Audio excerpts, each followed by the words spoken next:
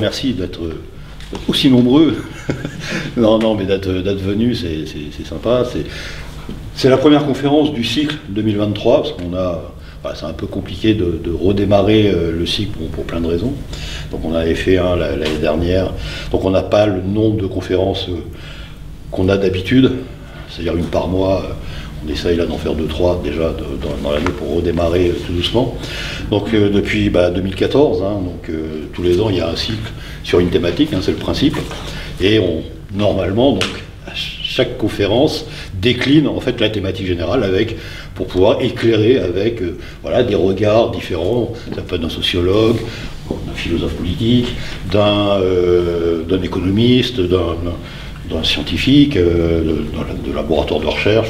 voilà, on essaye sur une thématique d'avoir des croisements de regards pour mettre en débat cette thématique.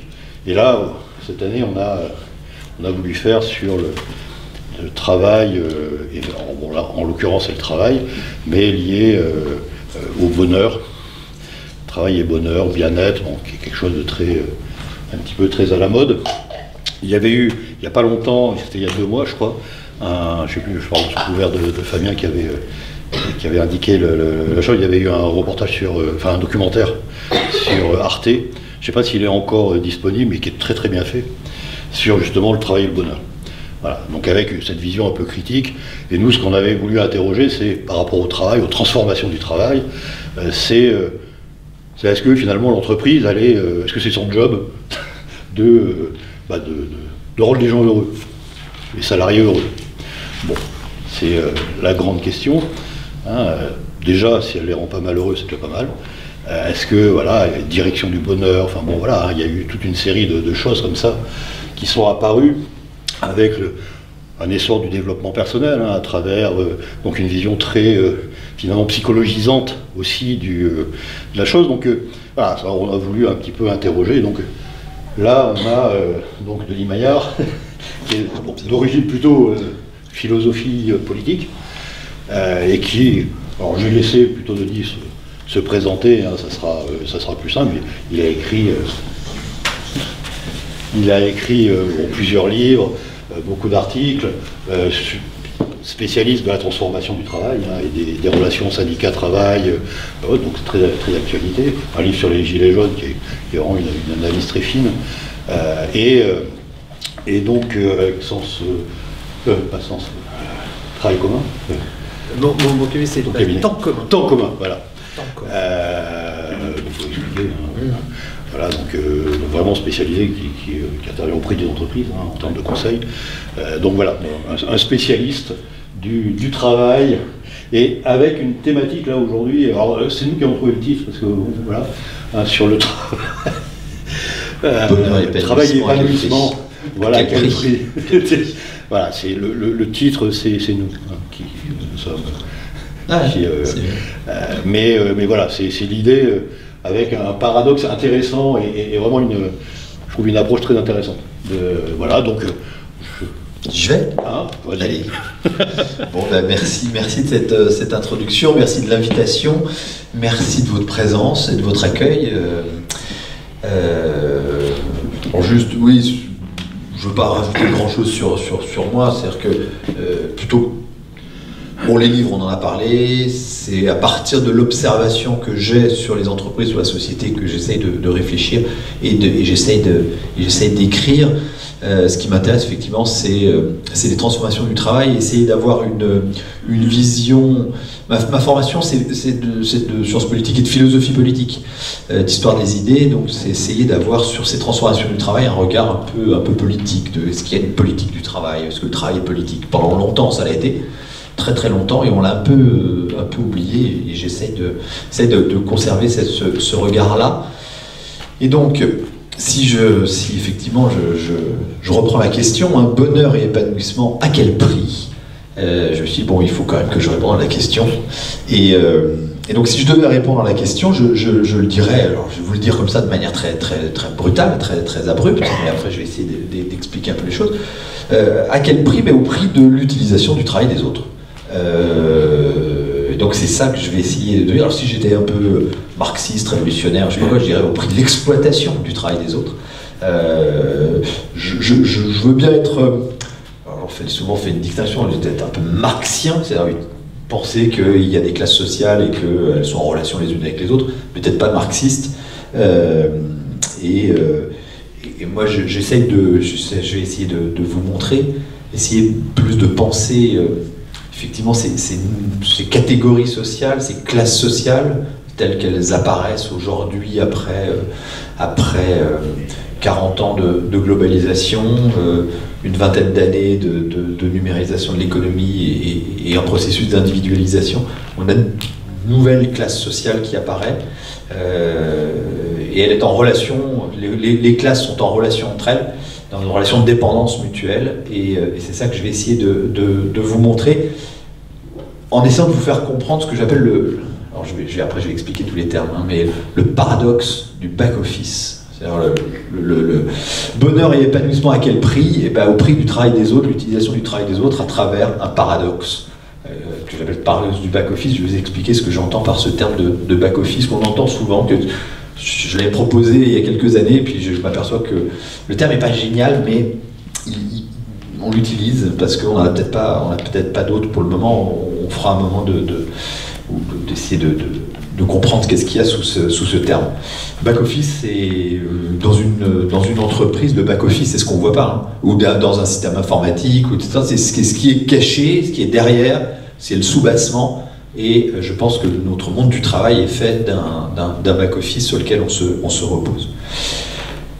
Alors, qu'est-ce qui s'est passé C'est euh, euh, 40, 40 ou 50 dernières années, si on prend le début des années 70 ou, le début des années 80, ces 40 dernières années, qu'est-ce qu'il s'est euh, qui s'est passé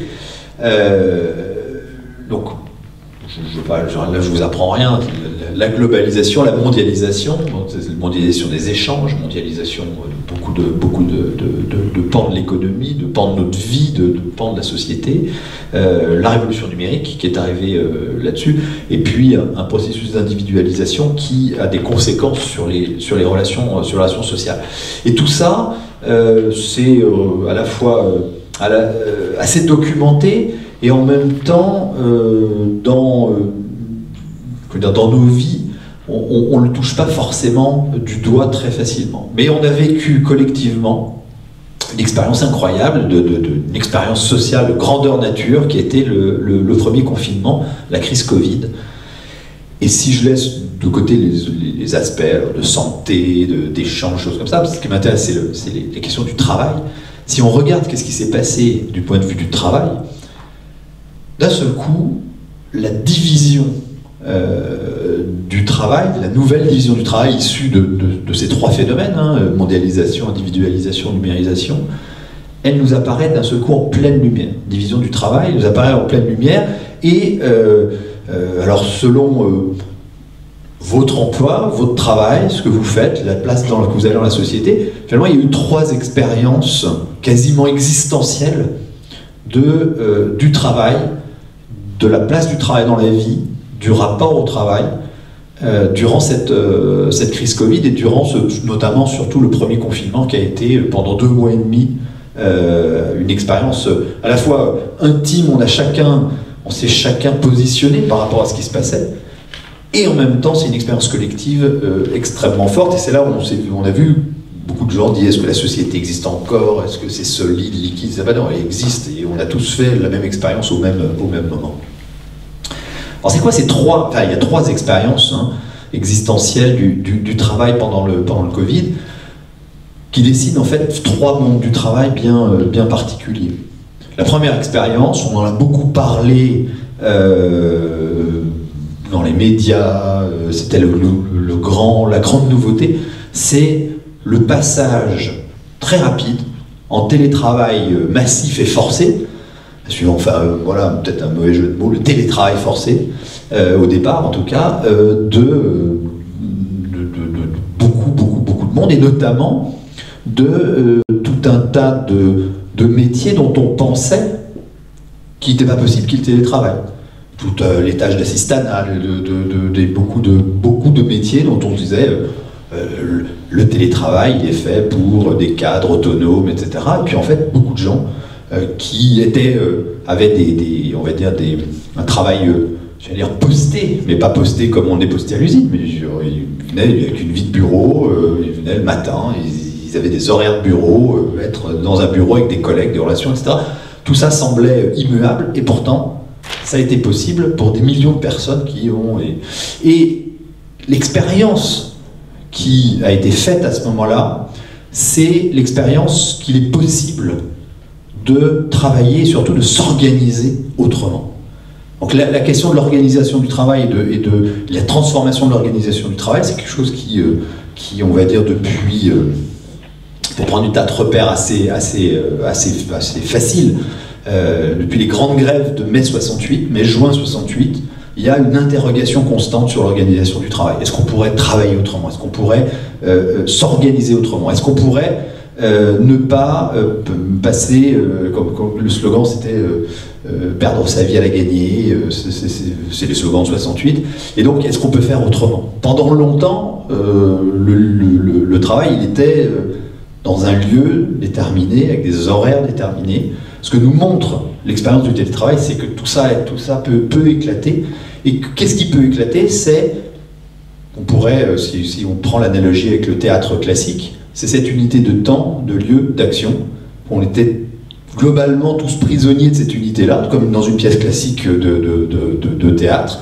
Et ça, tout ça a volé, a volé en éclat. On est passé d'une pièce classique à une pièce contemporaine. Finalement, on peut, on peut être euh, et, vivre, travailler euh, où bon nous semble, où on veut être, euh, où on peut être. et on peut s'organiser autrement. J'ai vécu des, des moments assez, assez incroyable euh, de... de, enfin, je, moi, dans mon métier, c'est d'accompagner surtout beaucoup de DRH, essayer de, de les aider à comprendre euh, l'impact des phénomènes de société sur les organisations. Et là, on était en plein dans ce, dans ce genre de, de genre de, choses.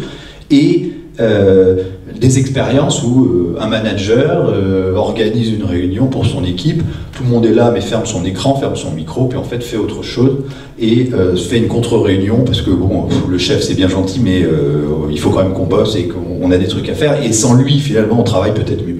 Et donc, c'est d'une expérience incroyable qui est euh, d'insubordination. De, hein, le, contrat de travail, c'est quoi? C'est une ça, ça, organise une subordination hiérarchique et juridique. et là, il y, a, a toujours subordination juridique, bon ok, ça c'est le contrat de travail, mais une insubordination hiérarchique qui s'organise, il est possible de s'organiser autrement. Donc c'est ces choses qui étaient de l'ordre de l'utopie pendant longtemps, de, pour penseurs qui disaient le travail doit évoluer, bah, d'un seul coup le travail se mettait à évoluer sous nos yeux. Euh, ça c'est le premier monde du travail, mais ça ne concerne que finalement euh, qu'une partie du monde du travail. Il y a une autre expérience qui a été toutes ces personnes qui euh, ne pouvaient pas, leur travail était jugé, on va dire, comme euh, euh, non essentiel. Et pourtant, c'est des personnes qui ne pouvaient pas télétravailler. Je pense à, je ne sais pas si vous vous souvenez, les polémiques, alors c'était après le, après le premier confinement, c'était, je pense, le deuxième confinement, les polémiques sur les, librairies. Est-ce que les librairies doivent être ouvertes Est-ce que c'est essentiel ou est-ce qu'elles doivent être fermées C'est non essentiel? Voilà. Et, donc, on a ça aussi sur des industries, sur tout un tas de métiers où les personnes, et notamment euh, hôtels, cafés, restaurants, et je pense que les difficultés qu'on a aujourd'hui dans le recrutement, les tensions qu'on a aujourd'hui sur, le, recrutement, sur les, les recrutements de main-d'œuvre dans ce secteur dit HCR, hôtel, café, restaurant, euh, est très lié à l'expérience qui a été faite du travail. À savoir, finalement, j'ai un travail, mais je peux rester chez moi, la société continue. Euh, est-ce que je sers à quelque chose? Et surtout, j'ai du temps pour penser, est-ce que je veux continuer à faire mon travail de la manière dont je l'ai fait jusqu'à présent Et notamment dans ce secteur-là, c'est un travail qui est euh, avec des horaires difficiles, euh, qui est euh, avec des conditions de travail souvent pénibles. Est-ce que je veux continuer comme ça? Bah, La réponse qui a été apportée assez, assez, assez fortement, c'est de dire non, non, j'ai envie de faire autrement, j'ai envie de faire autrement. Là aussi, interrogation sur est-ce qu'il est possible de travailler et de s'organiser d'une autre manière. Et puis, il y a un autre monde du travail, mais qui est un monde du travail généralement invisible. C'est le fameux back-office, et je vais y venir. Un autre monde du travail invisible, socialement invisible, et qui là d'un seul coup pendant le, confinement, s'est montré dans tout ce qu'il a d'essentiel et, de, et de matériel.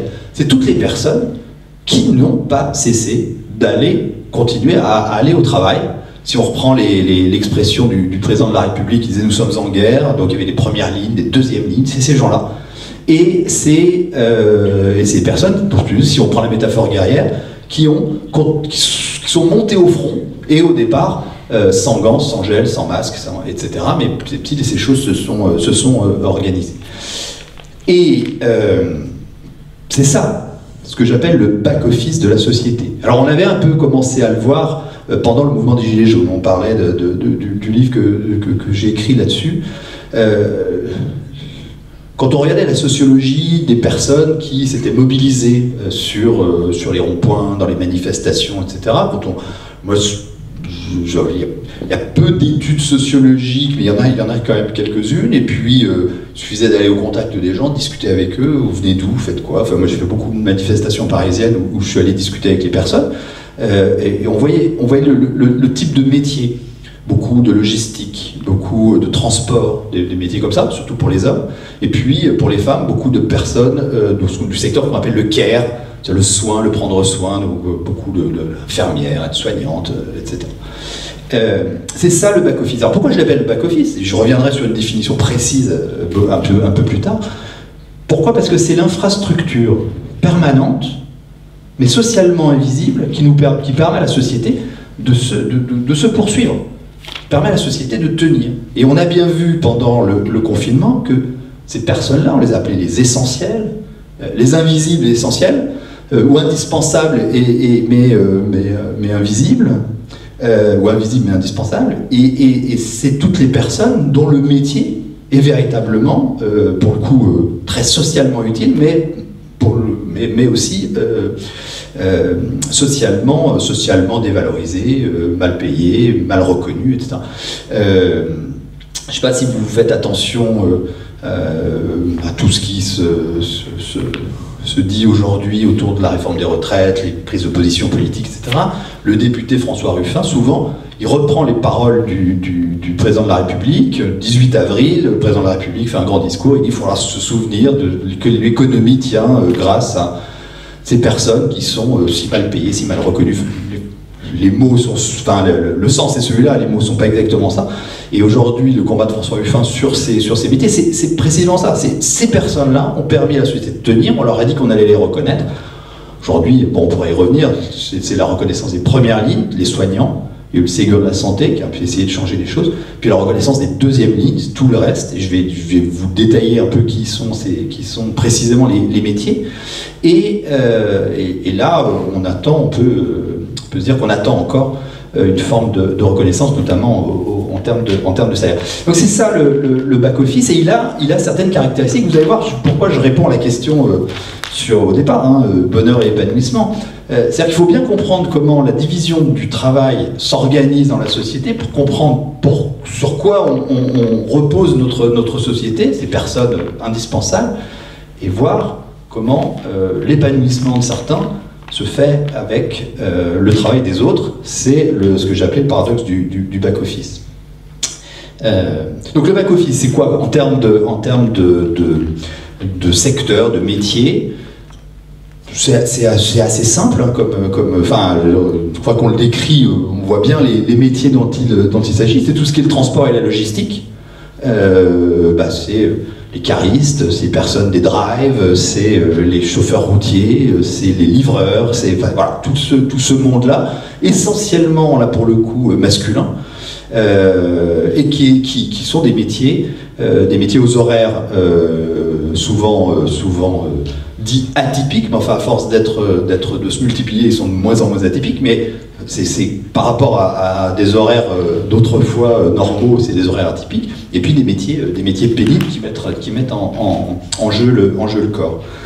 Euh, il y a tout le secteur, euh, je l'appelle du guichet du comptoir, c'est tout le, tout, le, tout le monde du commerce, le monde également du, de la maintenance.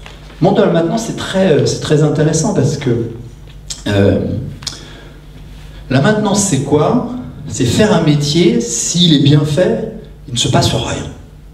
c'est assez paradoxal aussi. si vous faites bien votre métier, il, ne va rien se passer. C'est-à-dire que les choses vont rester en l'état. Votre métier, alors c'est réparer une ampoule, réparer un ascenseur, repeindre, pourquoi Moi j'habite à Paris, la Tour Eiffel, elle est repeinte en permanence. Euh, ça, recommence, c'est les tacs dans le métro, c'est ce, genre de choses. Euh, c'est ça le travail de maintenance. Et c'est un travail qui effectivement qui est physique, qui, où on est en prise avec la matière. Euh, et, et, si le travail est bien fait, ben, personne ne s'aperçoit que vous avez bien fait votre travail, puisque le but est précisément que les choses restent, restent en l'état. Ça, c'est un monde, monde, un monde du travail très, très particulier. Et puis, j'en parlais, ce qu'on appelle le monde du care, soin, prendre soin. donc, c'est là pour le coup, c'est métier hyper, hyper dominante, très, ultra majoritairement féminin. et, puis, et puis aussi des métiers, on va dire, euh, j'appelle ça, je vais appeler ça les, premières lignes, alors le terme n'est peut-être pas le bon, j'allais dire la première ligne de la République, pompiers, policiers, gendarmes, enfin euh, toutes les, fonctions régaliennes, mais aussi euh, les personnes qui vont, qui vont tirer des lignes sur, sur, tout ce qui est gaz, électricité, etc. Donc on, se dessine petit à petit, en fait, quoi? Des métiers, l'INSEE les classes dans les nouveaux ouvriers des services. Aujourd'hui, le, monde du travail en France, c'est 82% du, monde tertiaire. Euh, mais dans ce tertiaire, en fait, vous avez beaucoup de personnes qui font tous les métiers dont je vous ai parlé euh, et, qui, euh, et qui sont, comme dit l'INSEE, les nouveaux ouvriers des, nouveaux ouvriers des services. Aujourd'hui, dans la catégorie, dans la catégorie ouvrier, assez classique, est majoritaire tout ce qui est logistique, transport. C'est ça, je crois, 24 ou 25% des ouvriers aujourd'hui en France, ce sont euh, des transporteurs, des caristes, des, manutentionnaires, etc. Euh, de toutes les zones logistiques et, ce genre de situation. Donc on est loin de l'imaginaire de l'ouvrier et quand je dis ça, c'est-à-dire que euh, si vous regardez par exemple les campagnes, les campagnes électorales euh, pour la présidence de la République ou ce genre de choses, il y a toujours une séquence. Vous savez, ça, on, fonctionne par séquence. la séquence éducation, la séquence culture, puis la séquence travail. La séquence travail, généralement, euh, on met un casque, on va sur une chaîne de montage et, voilà, on est dans la séquence travail. Sauf que, sauf que aujourd'hui, la séquence travail, ça devrait plutôt être un gilet fluorescent et, un transpalette euh, pour, euh, pour, pour, pour, symboliser le travail, parce que c'est le, le, le, travail des ouvriers des services, c'est celui-ci. Voilà, vous avez les contours, les contours du back-office. Et donc j'ai fait une, une, étude alors, quantitative hein, pour voir un peu deux ans après le, après le, après le Covid, quelle était la, situation du monde du travail. On retrouvait très précisément ces trois, ces trois mondes que je vous ai, que je vous ai décrits. Et le back-office, c'est, alors les contours sont pas hyper délimité, il y a des métiers, euh, parce qu'il y a des critères qui rentrent, euh, qui rentrent en ligne de compte, je vais y revenir après, notamment sur les contraintes qui pèsent sur le, sur le, sur le, sur le métier, l'autonomie dans le travail, etc. Mais néanmoins, c'est 42% de la population active. 42% de la population active. Et là, je commence à dessiner le paradoxe dont je parlais. C'est quoi? C'est que presque un Français sur deux travaille au service des autres. Alors on travaille tous au service de quelqu'un, hein, mais euh, là dans une relation de service, euh, et ça c'est important et, je, vais, euh, je, vais le, je vais le développer. alors, ça, ça, quand, on, quand on creuse un peu, un peu l'enquête, soit qu'on fait des entretiens ou soit on regarde un peu, on, a posé une centaine de questions à 15 000 personnes peu, c'est assez, robuste comme, comme enquête. Qu'est-ce que, qu'est-ce qu'on, découvre? Il y a trois expériences de travail euh, particulières du, back-office. Euh, pour vous les dire, c'est, euh, je, les ai, comme ça, le surplace, la contrainte, l'invisibilité. Je vais développer ça. Contrainte, surplace, invisibilité. Qu'est-ce que je veux dire par ces mots? Le surplace, c'est quoi? C'est l'idée enfin, c'est pas, l'idée pour moi, mais la, réalité pour, pour, les, pour les personnes qui vivent ça, d'être, pour le coup, toujours coincé dans la pièce classique, unité de temps, de lieu et d'action. Alors le, lieu peut être suivant euh, le contrat de travail un peu disséminé, mais on est toujours obligé de se rendre à son travail. C'est pas un travail qu'on peut, euh, euh, faire à distance. Dans, suite au, premier confinement, il y avait une mission qui a été confiée à une économiste et une DRH pour la, mission. C'était comment est-ce qu'il est possible d'offrir une meilleure reconnaissance au travers de la deuxième ligne, donc une partie de, ce que moi j'appelle le back-office. Et euh, les deux critères qu'ils avaient, avaient retenus pour identifier qui fait partie de ce monde-là, premier critère, c'était de ne pas avoir télétravaillé pendant le confinement. Bah oui, forcément. Et puis le deuxième travail, le deuxième euh, critère, c'était être en contact, soit avec la clientèle, soit avec des collègues. C'est-à-dire se rendre dans un lieu où il y a d'autres personnes. Alors soit on est au service des autres personnes, qu'il y a des soignants, euh, ils ne sont pas deuxième ligne, mais enfin voilà, ou dans les commerces essentiels. Euh, ou alors, euh, dans les zones logistiques, vous avez des collègues, euh, vous avez. Et c'est ces deux critères qui sont, qui sont, qui sont importants. Et donc, on est bien toujours dans cette, dans cette pièce, unité de temps, de lieu, d'action, du travail. Et ça, c'est la première chose. Sauf que le, sentiment, alors je, pourrais développer après, mais le sentiment, c'est de d'y être, coincé c'est-à-dire d'avoir très peu d'autonomie dans son travail. Là, je pourrais, si vous voulez, dans la discussion, on pourra, développer. Euh, juste un chiffre. Euh, le, fait de devoir répondre dans l'heure à une demande euh, d'un client. Ça, c'est voilà. Est-ce que vous devez, dans votre travail, est-ce que vous devez répondre dans l'heure à une demande d'un client? En 1984, 5% des euh, salariés répondaient oui, je dois répondre dans l'heure à une demande des clients. Aujourd'hui, c'est 30%. 69% euh, euh, disent qu'ils sont soumis à une contrainte venant de l'extérieur et venant, de, venant des, clients auxquels ils, doivent, absolument répondre le plus vite possible. C'est-à-dire que c'est ça aussi le, sentiment d'être dans ce, surplace-là. C'est euh, notre travail est peu autonome et euh, il y a, alors, sans compter, euh, sans compter les logiciels, par exemple, hein, qui viennent vous, vous rappeler que vous devez faire tel, tel travail en moins de X temps, parce que vous avez déjà vu dans des, dans des, dans des EHPAD, par exemple, vous rentrez dans une chambre, vous, vous, cliquez sur, le, sur, le, sur le, votre, votre terminal, c'est-à-dire que vous rentrez dans la chambre et euh, pour, les, pour les, ce qu'on appelle les ASH, c'est les, personnes qui, euh, qui, personnes qui, qui nettoient. Euh, et vous avez, dans les hôtels, c'est la même chose, vous avez X minutes pour, faire, pour faire la chambre. Après, ça bip. Après, il, il, peut y avoir une souplesse, vous pouvez perdre du temps à un endroit, en gagner d'autres, mais néanmoins, c'est quand même le logiciel qui rythme votre, qui rythme votre travail.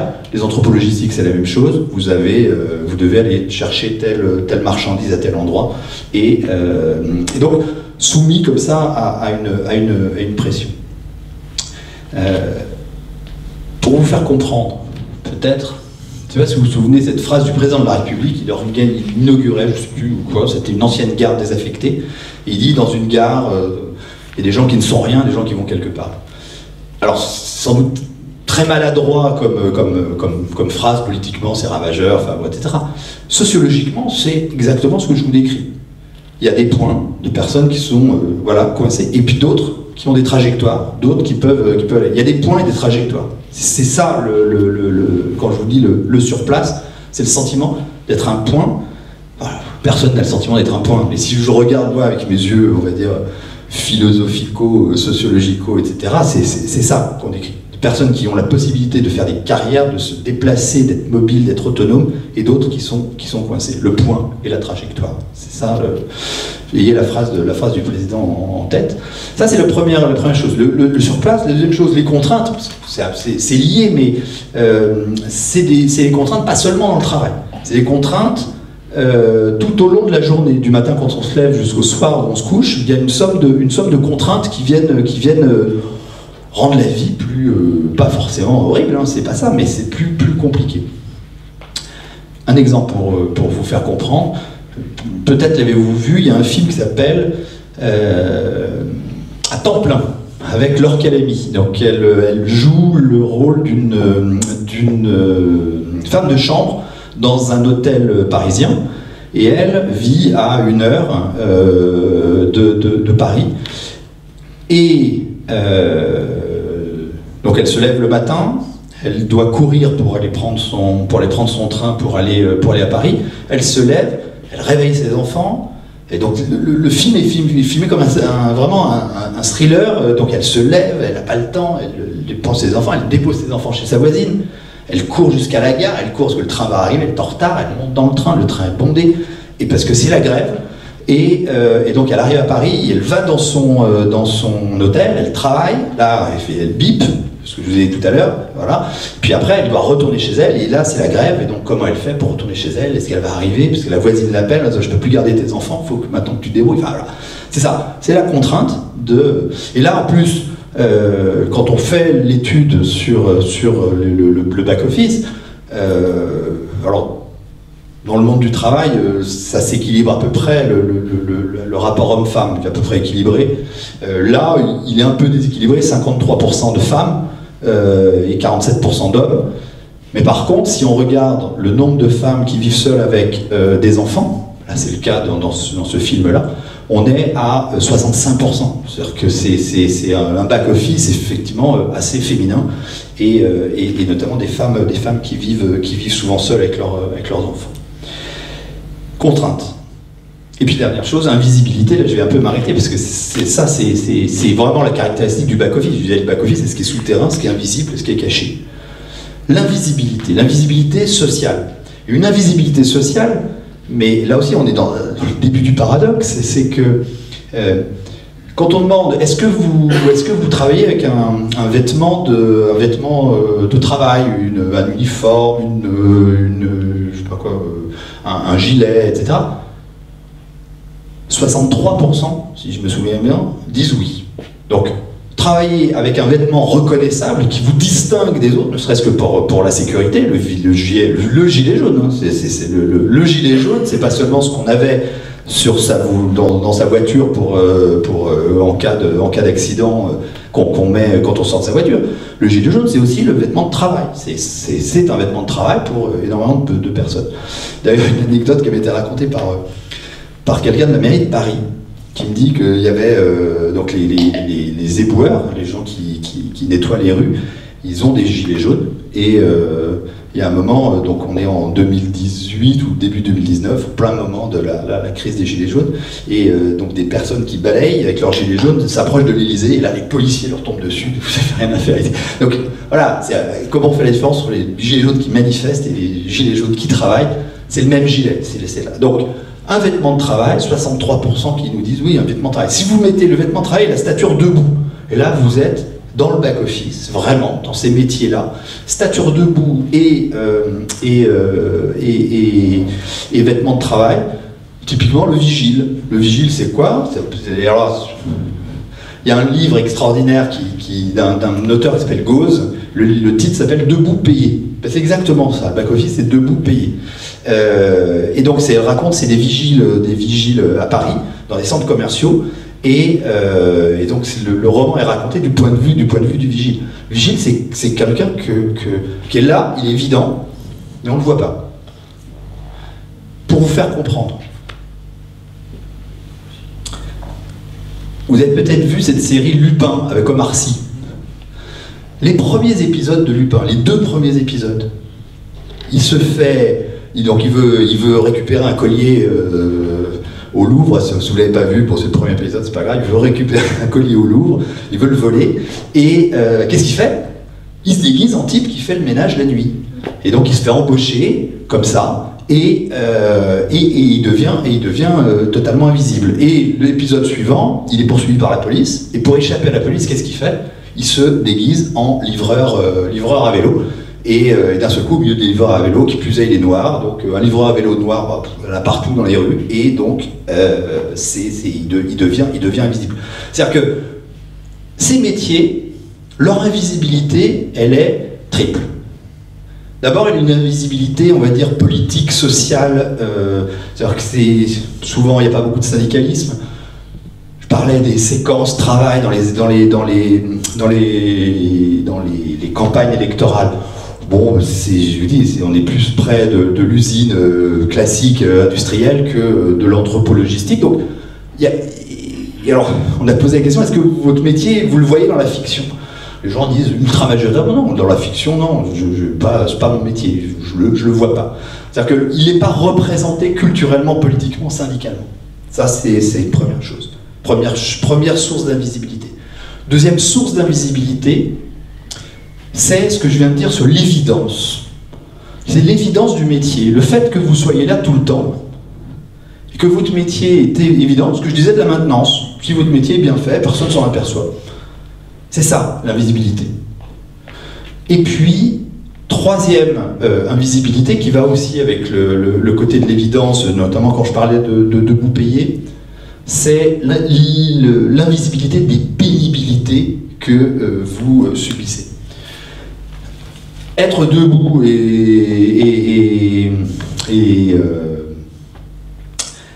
être vigile, ça, si on l'a fait, on sait qu'au bout d'un moment, on a plein les pattes et, qu'on a mal au dos et que ça, c'est difficile. Mais ça paraît, ça paraît pas, paraît pas compliqué. Euh, vous êtes euh, aide euh, nounou à, domicile et vous portez un bébé une fois, dix fois, cinquante fois, 200 fois, c'est pas une charge lourde.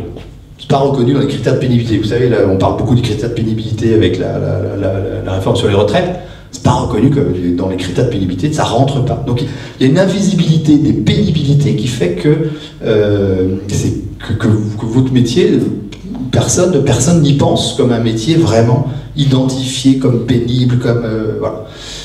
Euh, invisibilité politique, culturelle, évidence de, du, fait d'être là, et, et, et, invisibilité des pénibilités. Ça, ça entretient l'invisibilité sociale.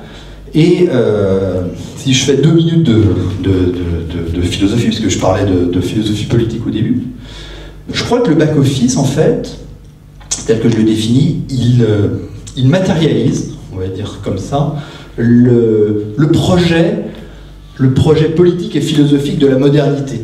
Qu'est-ce que je veux dire par là? C'est le grand terme. Euh, après la Révolution, donc il y a beaucoup de, réflexions sur comment est-ce qu'on comment on doit organiser la société pour vivre ensemble après la révolution. Donc la révolution, c'est quand même un, tremblement de terre. Hein. vous aviez un système social qui a été remplacé par un autre, passé du monde ancien à un monde moderne, l'ancien régime à, la modernité politique. Et un, penseur comme Benjamin Constant, Benjamin Constant c'est un grand penseur politique, il est aussi connu pour ses romans romantiques, etc. Mais c'est un grand penseur politique, il fait un moment une conférence qui est, qui est restée célèbre, qui dit il oppose la liberté des anciens et la liberté des modernes. C'est quoi la liberté des anciens? Lui, pour lui, les anciens, c'est Rome, c'est la Grèce, etc. Dit la liberté des anciens, c'est ne pas. Euh, c'est une, liberté politique. C'est-à-dire j'ai la liberté de venir discuter en tant que citoyen des questions de société et de choses comme ça. Et, il accuse les révolutionnaires d'avoir voulu importer cette liberté des anciens, donc. Euh, les, Romains, les Grecs, etc., dans le monde moderne. C'est pour ça que les révolutionnaires ont tout faux à ses, yeux, notamment les terroristes, ce qu'on appelle les terroristes, c'est euh, Robespierre, etc. Et, pour lui, c'est l'horreur parce qu'ils ont voulu mettre de l'ancien dans du moderne. Il dit la liberté des modernes, c'est quoi? C'est de pouvoir vaquer à ses occupations et complètement oublier que la société, euh, la société euh, est là. C'est une vision finalement assez, enfin c'est un libéral, Benjamin Constant. Il dit finalement si tout le monde se met à travailler, à s'occuper de, soi, de, de ses et à participer aussi à la, politique, mais c'est pas pas la liberté politique la plus importante. Finalement, la société va, va, s'équilibrer et, on va être bien. Donc la liberté des modernes, c'est quoi? C'est d'oublier précisément qu'on vit en société parce que elle se tient toute seule. Et bien, quand je vous dis que la matérialisation, le back-office, c'est la matérialisation du projet philosophique de la modernité, c'est la matérialisation de ça. C'est la matérialisation du fait qu'on peut vivre en oubliant totalement que la société existe. Pourquoi? Parce que vous avez des gens qui travaillent en permanence de manière invisible. Et, euh, euh, que, quand on. Le, développement euh, de l'économie et de la société ce faisant, hein, je vous disais 40 ans de mondialisation, individualisation, numérisation, etc., ben, vous avez petit à petit la possibilité, pour ceux qui ne sont pas dans cette pièce classique du travail, unité de temps, de lieu d'action, de pouvoir vivre et travailler où ils veulent, comme ils veulent. Mais ça, et là j'en arrive à mon paradoxe, ça, ça se fait assis sur une infrastructure permanente qui euh, travaille pour nous euh, jour et nuit. Pour vous faire comprendre le truc, là je, parle philosophie, etc., mais c'est, euh, il, est il est 22 heures, vous avez faim, vous avez envie de lire un livre, et ben vous prenez votre téléphone, vous appuyez sur me faire livrer un repas, un quart d'heure après, il arrive, et me faire livrer un livre, et le lendemain matin, vous l'avez. Mais pour que vous, vous, appuyez sur un bouton, derrière, qu'est-ce qui se met en branle? C'est toute une chaîne logistique de travail, de machin. C'est la commande est reçue, le picker, le picker, c'est le type chez Amazon par exemple qui va chercher le, colis. Euh, tout ça est mis euh, en carton, euh, mis dans un camion. on espère que le camion ne roule pas à vide, mais il y en a parfois qui roulent à vide. Et, et le, le, le, colis vous est, vous est livré. Ça, c'est la matérialisation de ce, que je, de ce que je viens de dire. Alors, c'est, on va dire, euh, euh, un, peu, un peu archétypique, enfin, c'est, vraiment l'exemple type, mais toute la société fonctionne comme ça. Le back-office, c'est vraiment, vraiment ça. Donc, le paradoxe du back-office, si j'en arrive à, ça, puis après, je vais répondre à cette question euh, posée, posée au début. Le paradoxe du back-office, c'est, ce, qui travaille pour qui c'est plus je peux m'autonomiser des lieux et des temps du travail pour organiser ma vie en toute autonomie, plus j'ai besoin qu'une infrastructure permanente travaille à mon épanouissement. C'est ça. Et on pourrait se dire, bah, c'est réversible. Le type du back-office, finalement, bah, il veut être comme tout, comme tout le monde, il veut aussi être chez lui, appuyer sur le bouton, etc. Sauf que Sauf que, alors ça on pourra y, revenir après, sauf que euh, les salaires, enfin, je vais le dire autrement, c'est, sauf que le back-office livre et délivre des biens et des services qu'il ne peut pas lui-même consommer. Pourquoi? Parce que, euh, ou alors sous un mode, sous un mode dégradé. Euh, des produits, des produits qui sont les mêmes, mais pas, pas de, même, de, même, de même standing. pourquoi? Tout simplement pour une question, de, une question de salaire. Les salaires sont, sont, beaucoup, plus, beaucoup plus bas. Donc c'est ça le paradoxe du back-office. Plus je m'épanouis, plus il y a un travail contraint. Euh, je vous donne un exemple. Ma compagne, elle est, elle est, euh, elle est institutrice. Euh, pendant longtemps, elle avait fait un autre métier, elle s'est reconvertie en institutrice, institutrice voilà, qui aime bien son métier et tout. Elle est confrontée à un truc, qui est que les parents d'élèves, parce que ils ont envie de, profiter de la vie, des vacances, etc. Bah, ils partent euh, une semaine avant la, sortie des classes et ils reviennent euh, une semaine après la, rentrée, des, vacances. Et donc, bah, pour le coup, euh, pour l'instit, bah, c'est pas, c'est pas, alors pour l'institution, c'est pas acceptable. Pour l'instit, dit, voilà, j'ai trois enfants qui manquent là. Après, je, enfin, ça devient à la carte. Et donc, elle m'explique que que, parce qu'on parle, on parle de, tout ça, elle m'explique qu'elle a fait un discours aux parents, l'institution, c'est pas possible, les règles, machin, faut pas tout ça, ça rien. Mais après, elle a dit, mais j'espère pour vous qui allait partir avant, qui allait rentrer après, que le chauffeur de taxi qui vous emmène à l'aéroport, pourquoi à la gare, il n'a pas décidé de faire comme vous et de prendre ses vacances avant. J'espère que le chauffeur de train, enfin le conducteur de train, n'a pas décidé de faire comme vous et de partir avant. Euh, j'espère que quand vous arrivez dans votre location, la femme de ménage n'a pas décidé elle aussi de prendre ses vacances avant et, euh, et, de ne pas être là quand vous êtes arrivé. Et euh, quand vous allez faire du ski, bah, j'espère également que le, moniteur de ski, le perchiste, le type qui tient l'auberge, le, le, loueur de ski n'a pas décidé lui aussi de prendre ses vacances et, de partir et de, faire comme vous c'est absurde et, c'est un peu culpabilisant, mais euh, on, touche du doigt le truc. C'est que pour pouvoir s'épanouir et euh, Alors là, c'est du loisir, mais travail et loisir sont, enfin, on pourrait y revenir, travail et loisir sont, sont quand même très très interpénétrés, euh, sans compter, je pourrais vous développer ça aussi, que euh, toute une partie, je crois, de notre rapport au travail étant bouleversé, il y a toute une partie de la population qui cherche aujourd'hui euh, à, sous les termes de quête de sens, etc., à vivre son travail comme une expérience épanouissante. C'est-à-dire à pouvoir vivre son travail comme il consomme des biens et des services. C'est-à-dire consommer du travail, en faire une expérience fluide, sensationnelle, épanouissante, sans, euh, sans, sans, euh, sans, que ni les autres ni le travail ne soient euh, ni ennuyants, ni, ni, ni, ennuyeux, ni, ne lui pose de problème. Et donc, on voit bien que ça, ce n'est possible que si effectivement il y en a d'autres qui travaillent, qui sont dans, dans cette contrainte-là, sans qu'il y ait de euh, réversibilité euh, possible. Et c'est ça le, paradoxe. Alors, une fois que j'ai dit ça, j'ai un peu noirci le tableau, et donc si je veux répondre à la question, on se dit, bah waouh, c'est bien pour certains, euh, mais pour les autres, c'est compliqué.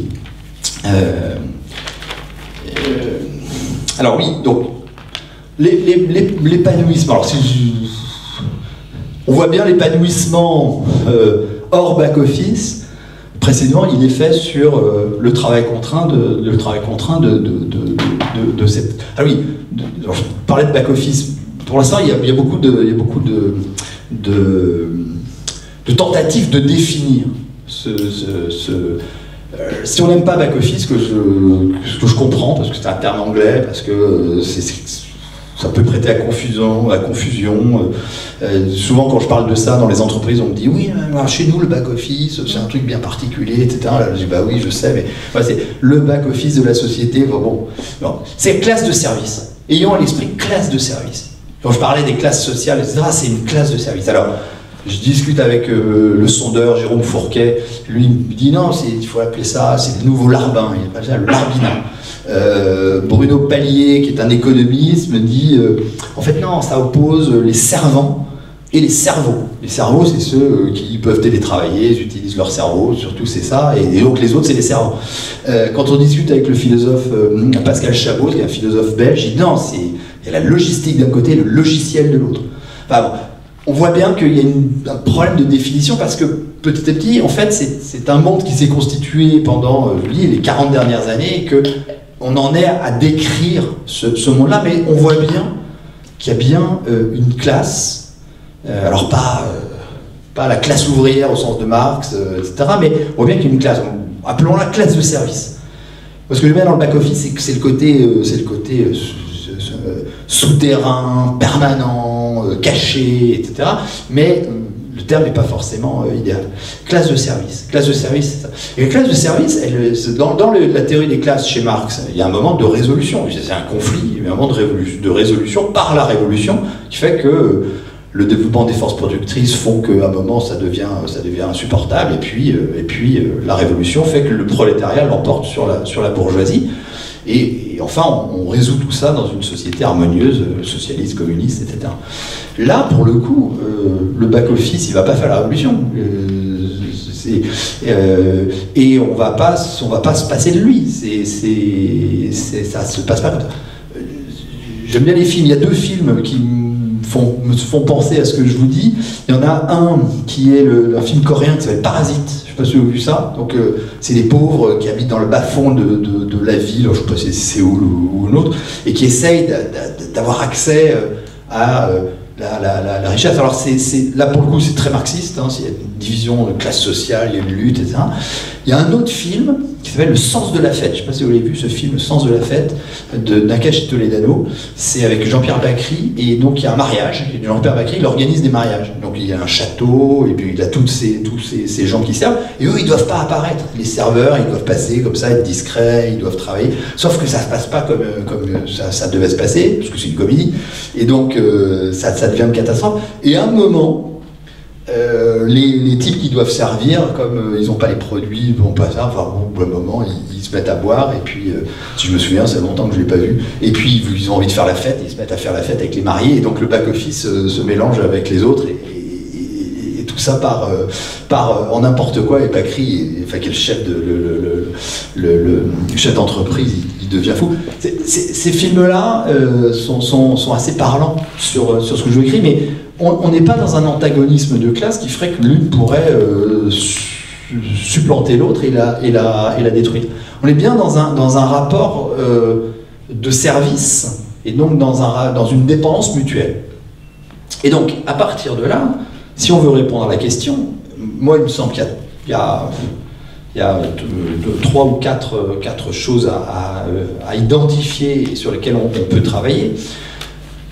L'invisibilité, je pense qu'on ne résoudra pas ça. Pendant longtemps, j'ai cru que si on. Alors, j'ai essayé de pousser l'idée de. qu'il fallait faire des séries sur. Euh, genre, quand on regarde le cinéma, euh, souvent le cinéma français ou les séries un peu françaises, c'est, les gens ils ont des vies que, en tout cas moi j'ai pas, dans des appartements que, personne ne peut se payer, il y a des trucs, on dit bah ouais, où ils, habitent ces gens-là. Donc, ils vivent des histoires d'amour intenses, ils vivent des histoires, enfin bon, tout ça est très bien. Et je lui dis mais on peut, on peut imaginer les mêmes choses, avec, euh, avec, mais dans, un, autre milieu social. Puis, bon, je suis pas arrivé, hein, évidemment, je suis pas arrivé à, me faire entendre là-dessus, mais euh, je pense que je me trompe. C'est-à-dire que je ne pense pas que le, remède à l'invisibilité soit une plus grande visibilité par, euh, la, par euh, faire, de, faire des, héros de, des héros de série. Euh, en fait, c'est la reconnaissance. C'est qu'est-ce qu'il y a dans votre travail qui peut être reconnu comme étant un travail utile, digne, important, euh, et, donc à partir de là travailler sur les critères de métier.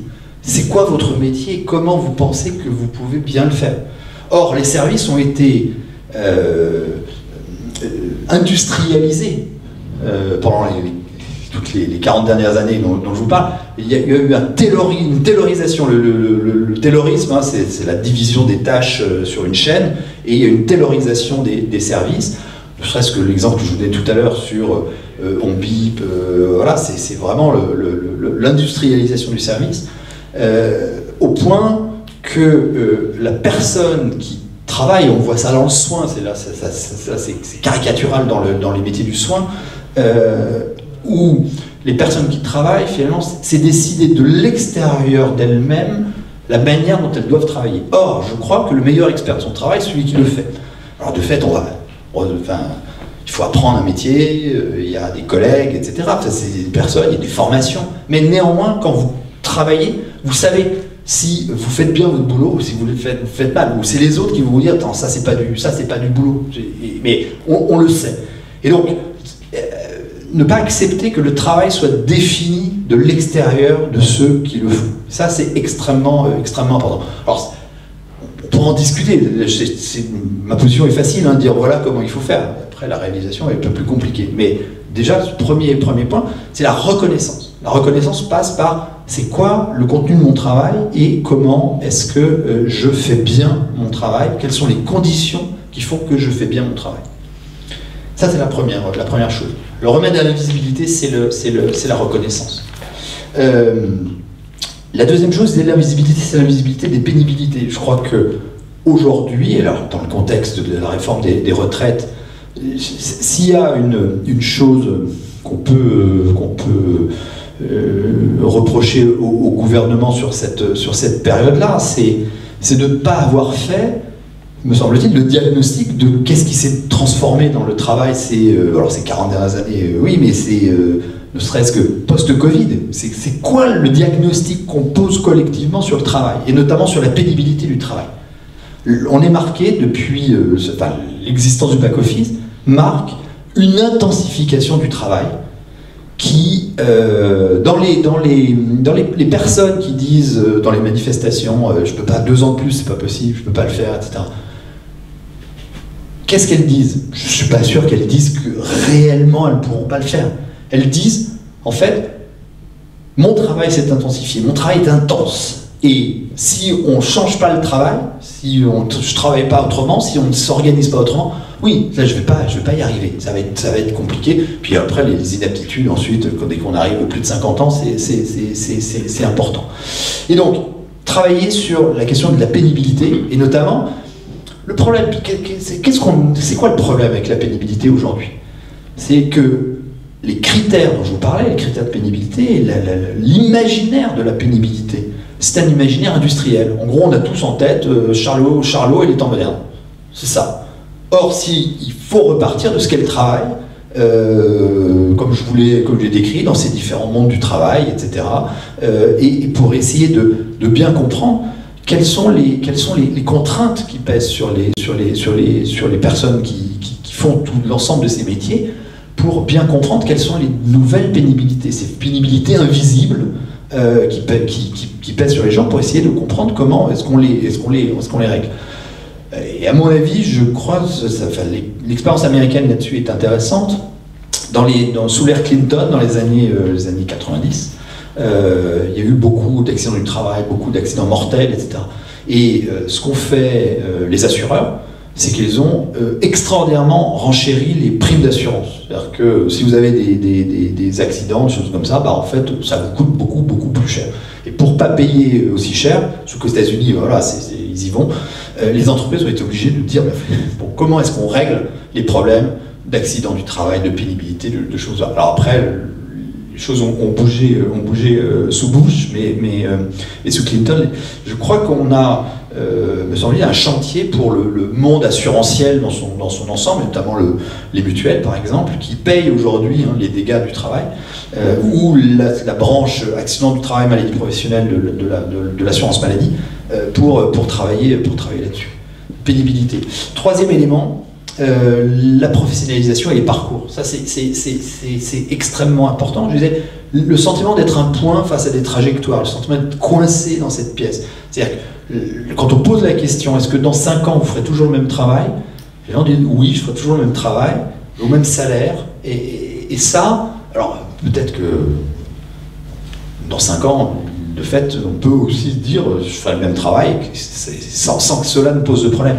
Mais c'est comment est-ce qu'on organise des, filières, des, parcours, et comment est-ce qu'on professionnalise tout un tas de métiers qui étaient pendant longtemps des métiers domestiques, qui étaient euh, souvent euh, euh, l'apanage des femmes, et qui sont devenus des métiers à part entière, mais parce que c'était des métiers domestiques faits par des femmes, il était comme on partait de l'évidence que c'était des métiers qui n'avaient pas besoin de formation, de diplôme, de choses comme ça, parce que c'était évident. alors soit c'était fait par des femmes, elles avaient ça dans, le voilà, c'était euh, par essence, euh, elles étaient faites pour ça. Ou alors, euh, il y avait une vocation. À chaque fois, c'est entre, entre l'infirmière et la bonne sœur. on passe en permanence ça. Sauf qu'il y a tout un tas de métiers qui sont des, métiers, quand bien même s'occuper des enfants était la page des femmes à la maison pendant des siècles, c'est aujourd'hui un vrai un métier avec des règles de métier, une professionnalisation. Et ça, euh, souvent c'est pas reconnu. Et le dernier élément, euh, et puis après je vais m'arrêter, euh, c'est de, la question des salaires. La question des salaires, c'est simple de dire oui, il faut augmenter tous les salaires. Enfin, ça se passe pas comme ça. Mais pourquoi les salaires sont faibles? C'est parce qu'on pense que l'ensemble de ces métiers n'ont pas de pas de productivité. Ce sont des métiers improductifs. C'est-à-dire qu'on ne peut pas gagner en productivité sur ces, métiers-là. C'est une croyance économique euh, installée. Euh, et ce sont des métiers non qualifiés. Sauf que, vais bien prendre cet exemple du, livreur. Euh, aujourd'hui, quand on est, est cadre supérieur, on nous dit, bon, vous avez tout un tas de savoirs, mais ce qui est important, c'est le, savoir-être, c'est euh, la manière dont vous vous comportez, ces choses comme ça. Et il y a un terme qui, aujourd'hui, est très à la mode, c'est la sérendipité. La sérendipité, c'est quoi? C'est la capacité de s'adapter à votre interlocuteur, de trouver des solutions euh, à des problèmes que vous n'avez pas identifiés, mais qui, qui, se, qui surgissent devant, vous. Euh, eh bien, un livreur c'est quoi? C'est exactement la même chose, sauf qu'on ne lui reconnaît pas cette qualité-là. Le type, il arrive, normalement, il a l'adresse où il doit livrer, il a, alors pareil, tout le monde a des codes, etc., donc il a le code, l'étage, le truc, puis en fait, ça fonctionne jamais comme ça, parce que euh, le code, bah, en fait, en le tapant, on a oublié un numéro, ou alors il a changé, on l'a oublié, ou alors euh, la personne qui devait être là, euh, elle n'est pas là. Et donc, d'un seul coup, qu'est-ce qu'il doit faire? Alors, de plus en plus, comme ça se multiplie, bah alors il va laisser le truc comme ça. Moi, j'ai pas le temps parce que de toute façon, j'ai mon beeper et il faut que je dise que c'est livré. Donc de fois, votre truc a été livré, comme si vous avez signé alors que. Mais autrement, ce qu'il veut bien faire son boulot, il va trouver des solutions. Il va trouver, il va être plein de sérendipité, c'est-à-dire qu'il va se trouver face à un problème et il va faire appel à son intelligence relationnelle, à son intelligence euh, des situations pour dire ok, je peux pas livrer, mais alors là il y a un commerce à côté, donc j'y vais, je pose le truc, j'appelle la personne, bon j'ai laissé dans le commerce d'à côté, vous le trouverez, ou alors votre voisin, c'est ça. Ça c'est ça c'est une qualité, ça c'est une compétence. Sauf qu'elle n'est pas sur la fiche de poste, il n'y a pas, il n'y a pas. Et donc des métiers qui sont peu payés parce qu'on leur trouve ni qualité, ni productivité. Et ça, euh, il faut changer, il faut changer la, manière. Donc, vous voyez bien, hein, reconnaissance, euh, travail sur la pénibilité, euh, trajectoire, professionnalisation, parcours et, et reconnaissance de, qualité et de productivité. Voilà, si on répond à la question, quelle serait pour le back-office la manière de s'épanouir. Après, la question c'était épanouissement et bonheur. Ça, là, je n'ai pas la recette du bonheur, j'en suis euh, navré. Voilà, merci.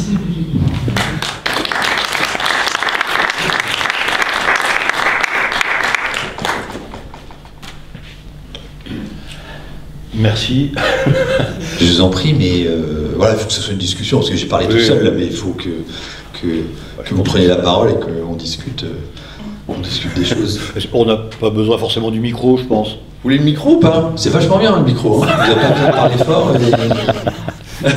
Merci en tout cas pour euh, la passion que vous mettez dans votre euh, propos. On vous sent euh, habité. Euh, ça, ça, rend le discours. Je les aime bien, mes travailleurs du back Est-ce qu'il n'y a pas d'autres catégories d'invisibles que sont les pas loin de 6 millions de demandeurs d'emploi en France si on compte les catégories ABCD, les exclus, etc.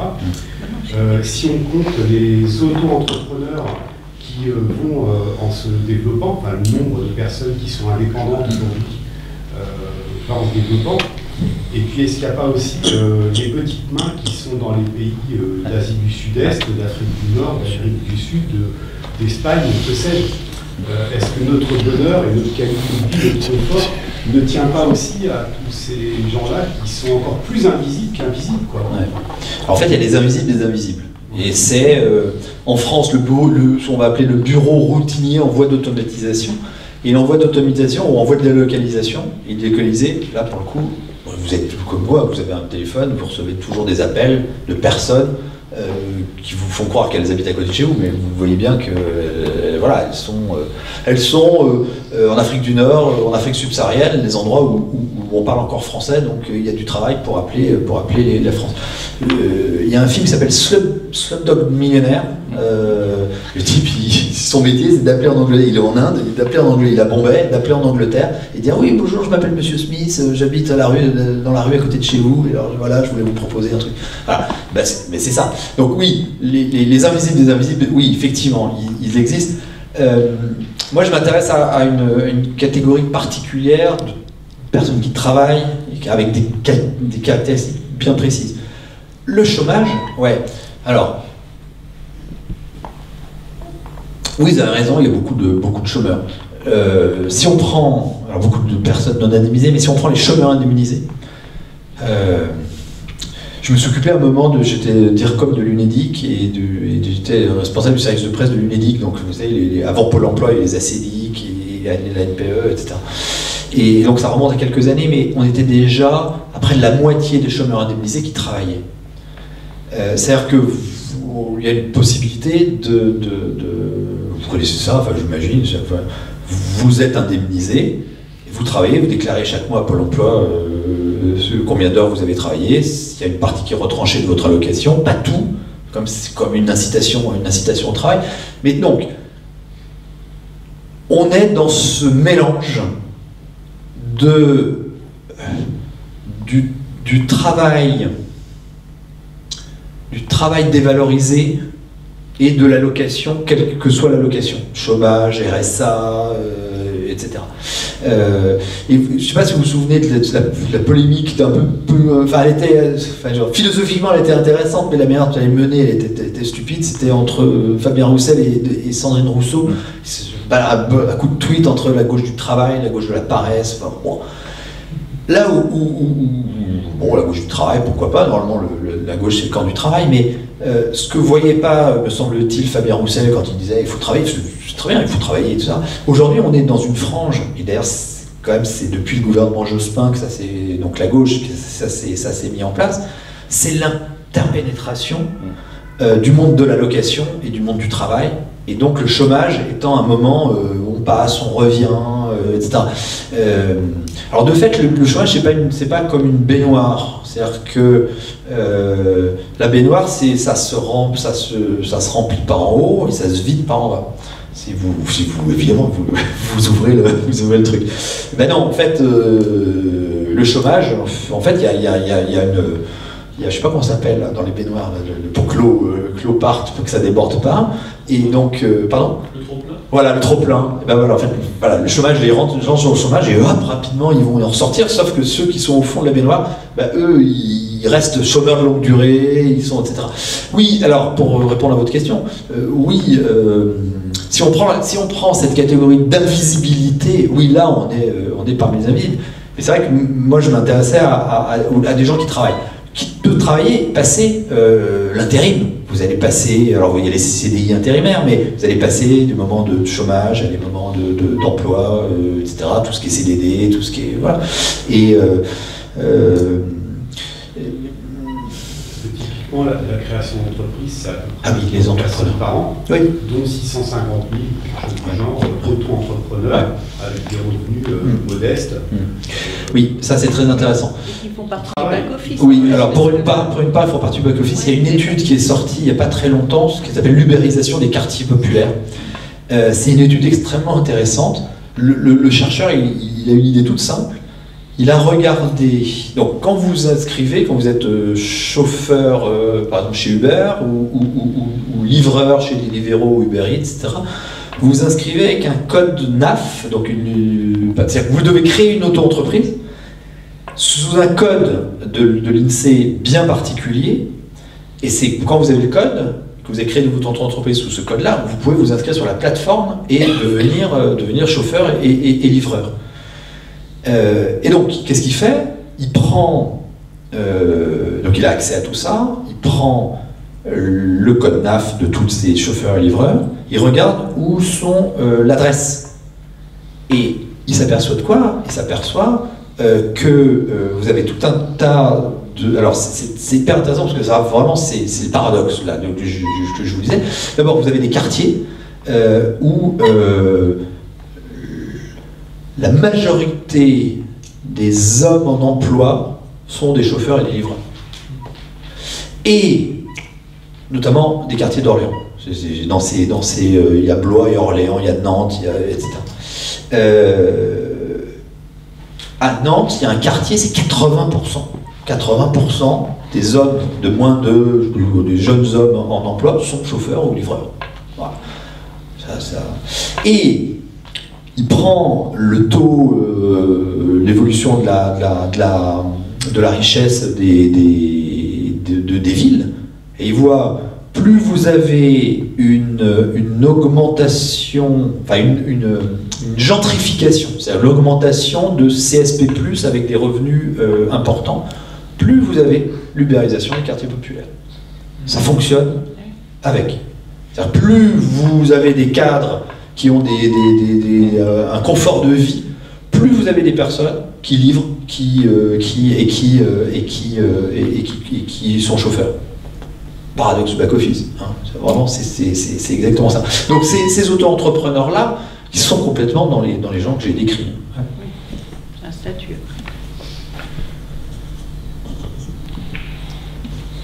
Monsieur. Alors, on va juste la catégorie de ceux qui travaillent en production. Qu'est-ce que vous appelez ceux qui travaillent en production Si je suis sur une ligne de montage pour fabriquer des voitures, euh, j'aurais tendance à la rentrer dans les, dans les invisibles aussi. Non. Oui. Un maçon, non. Un charpentier, non, parce qu'il va apporter quand même euh, son savoir, euh, sa manière de, de produire, euh, ce qu'on lui demande de produire. Mais un ouvrier sur une ligne de montage, il est contraint par le chronomètre, il fait des tâches de plus en plus courtes, etc. etc. Et c'est une catégorie qui est essentielle, parce que les services n'existent que parce qu'il y a de la production. Oui. Vous mettez, bien. Ouais, bien sûr. Vous mettez le doigt sur deux, deux, deux problèmes, ça va me permettre d'être plus explicite. De fait, quand je décris mes catégories de back-office, classe de service, classe de service peut-être plus peur. Je, crée un contour assez net en disant voilà les métiers, choses comme ça. Tout de suite, effectivement, vous vous posez la bonne question. Bien, euh, des critères là, euh, en fait, euh, l'ouvrier, vous allez dans une usine automobile aujourd'hui, les ouvriers sont postés, euh, la chaîne passe, ils ont un temps donné, ils ont un vêtement de travail, ils ont, enfin, voilà, tous les. Sauf que, en fait, toutes les personnes dont j'ai parlé, il y a- un certain nombre de critères qui, qui, sont, qui, arrivent, qui arrivent en plus, euh, notamment qui tiennent à l'autonomie dans le travail et à la qualité du management. Précisément, dans l'industrie, euh, ce qui reste d'industrie et, avec des, métiers, des métiers postés, en, fait, ça ne correspond pas. Le management, est, il a été disciplinaire euh, autrefois, il a été dur, etc. Aujourd'hui, le management n'a plus rien à voir. Les, les cercles de qualité sont passés par là, euh, le toyotisme, enfin, toutes, toutes ces choses-là qui fait que les opérateurs ont enrichi leurs tâches de plein de, de, plein de, plein de choses. Euh, on n'est pas. euh, Aujourd'hui, vous allez euh, à, Fl- à euh, euh, sur une chaîne, chaîne automobile.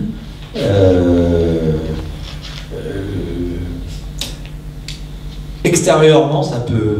Vous avez une chaîne. Ouais, extérieurement, vous avez une chaîne. Ça peut, ça peut vous faire penser exactement à ça. Quand vous discutez avec les, avec les personnes, c'est pas du tout, c'est pas du tout le même.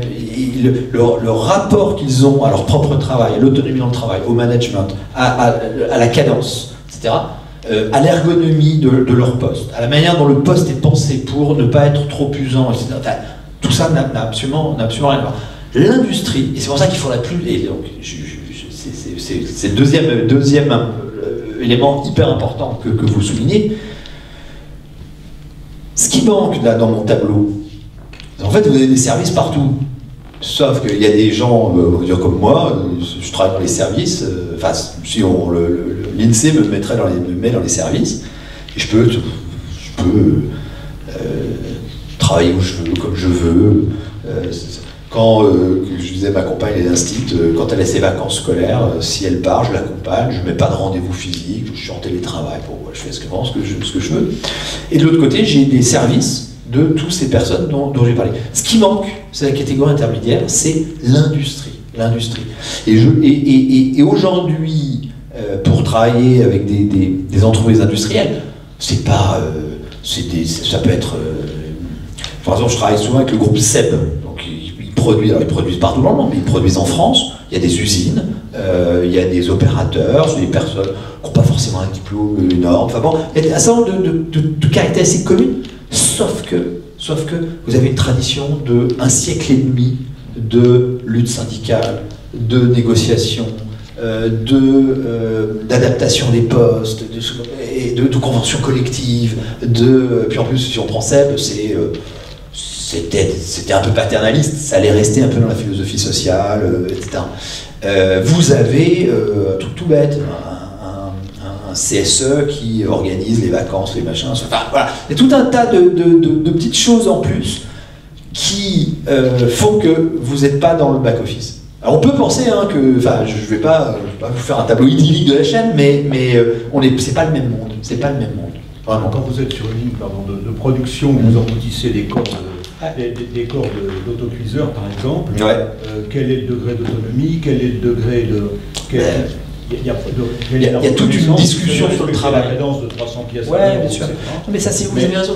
Mais, mais donc, c'est au, au même niveau que. un- Non. C'est peut-être moins sévère du contexte de l'entreprise, de la philosophie Oui. de l'entreprise, Ouais. que de travailler dans un, entrepôt d'Amazon. Oui. hein, Oui. Simplement. Mais, mais c'est aussi bestial comme boulot. je ne serais pas aussi sévère que Je vous. vois pas bien où est le progrès, parce Je que pas. ces gens-là sont Le- le- faire euh, 5 ou 6 ou 7 les- de productivité Ouais. par an. Ça veut dire qu'il faut que les gens aillent 5 ou 6 ou 7% plus vite. Oui, alors ça, non, alors là, oui, alors c'est encore un autre, un autre sujet. Le- là où je serais d'accord avec vous, c'est euh, c'est les abattoirs. Les abattoirs, ouais, ça c'est- clairement euh, quand vous vous découpez du poulet et vous, vous, vous tuez des animaux comme ça à la chaîne, bam, bam. ouais, là c'est un truc assez particulier.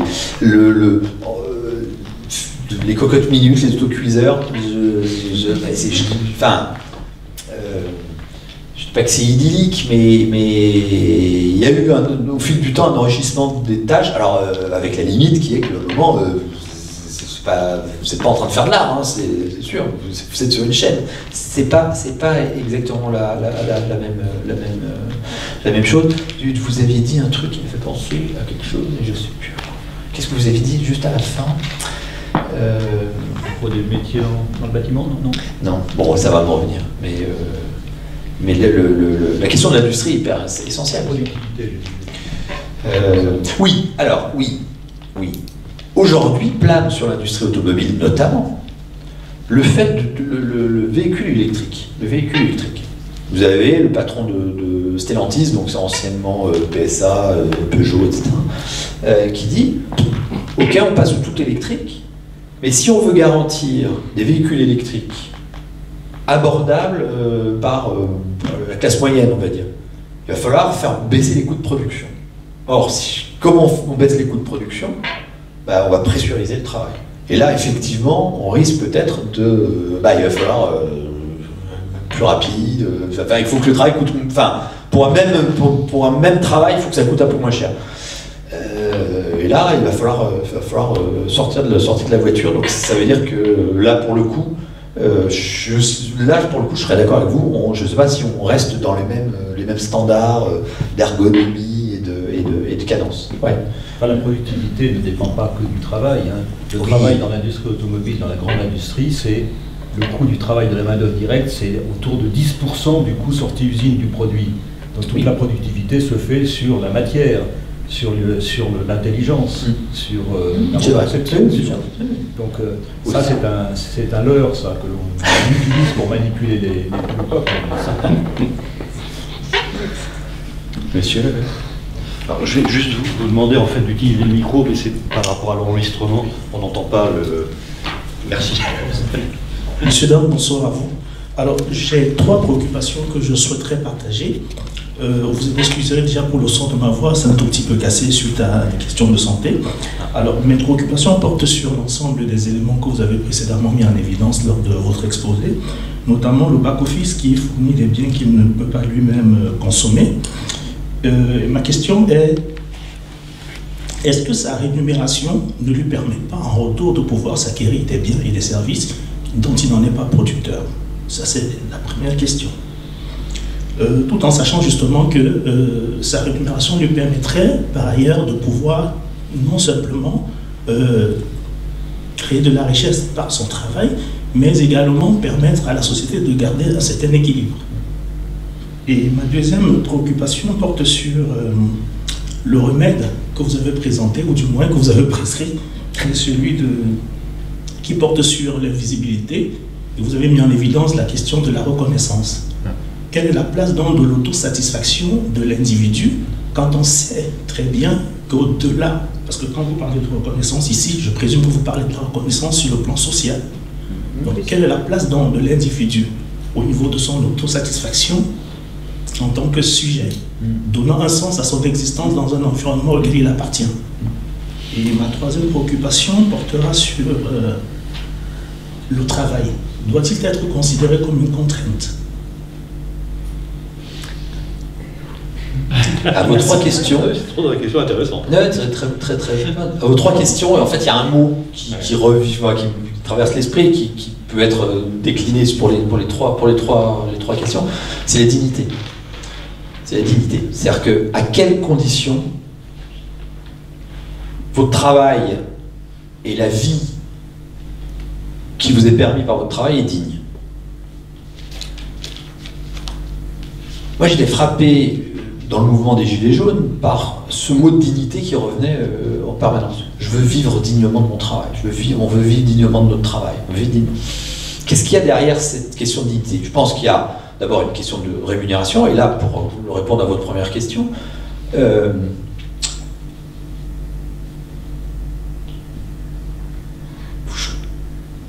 je ne sais pas si vous avez en tête, on est avant le mouvement des Gilets jaunes, il y a eu des, un truc qu'on appelait les émeutes du Nutella. Donc il y avait, je ne sais plus quel magasin avait fait des réductions terribles sur le, sur le, sur le Nutella.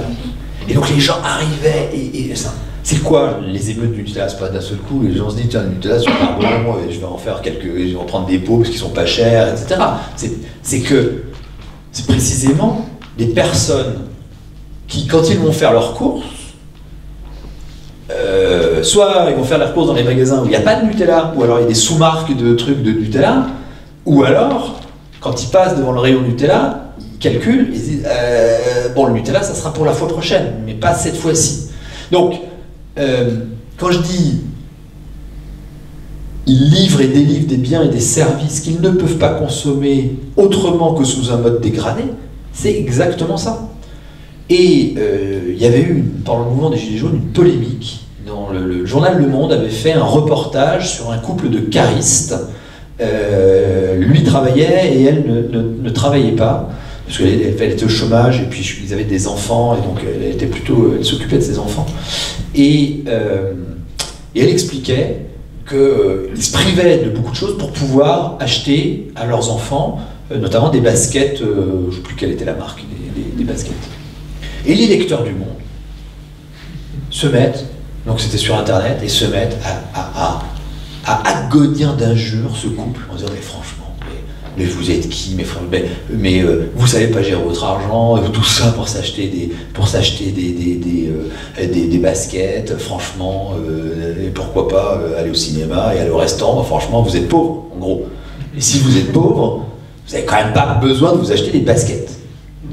Ben, on est au cœur du truc, on est au cœur du truc. Qu'est-ce qu'il y a derrière? Les, Alors, les gilets jaunes, on a dit tout et n'importe quoi sur les gilets jaunes. C'est vrai c'est un mouvement très composite. Il suffit que je mette un gilet jaune pour devenir les gilets jaunes. Donc euh, c'est un mouvement de métonymie. Une métonymie, c'est la, formule rhétorique qui prend la partie pour le tout. Il suffit que je mette un gilet jaune pour devenir les gilets jaunes. Donc c'est toujours très. Il faut être prudent contre pas les gilets jaunes, mais il y a quand même un truc qui me semblait que les gilets jaunes, ne voulaient pas faire la révolution, ils ne voulaient pas renverser la table. Ils voulaient s'y asseoir pour pouvoir consommer comme n'importe qui. La dignité, on est dans une société de consommation, qu'on l'aime ou qu'on n'aime pas. On est dans cette société-là où la dignité passe par la possibilité de pouvoir consommer les biens et les services qu'on a créés. Mais des Ford, hein, on parlait de l'industrie automobile, mais des Ford, c'est ça.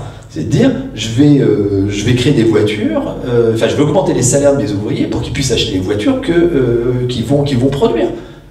Est-ce que vous pouvez, par votre travail, avoir une vie digne? Et une vie digne, c'est quoi?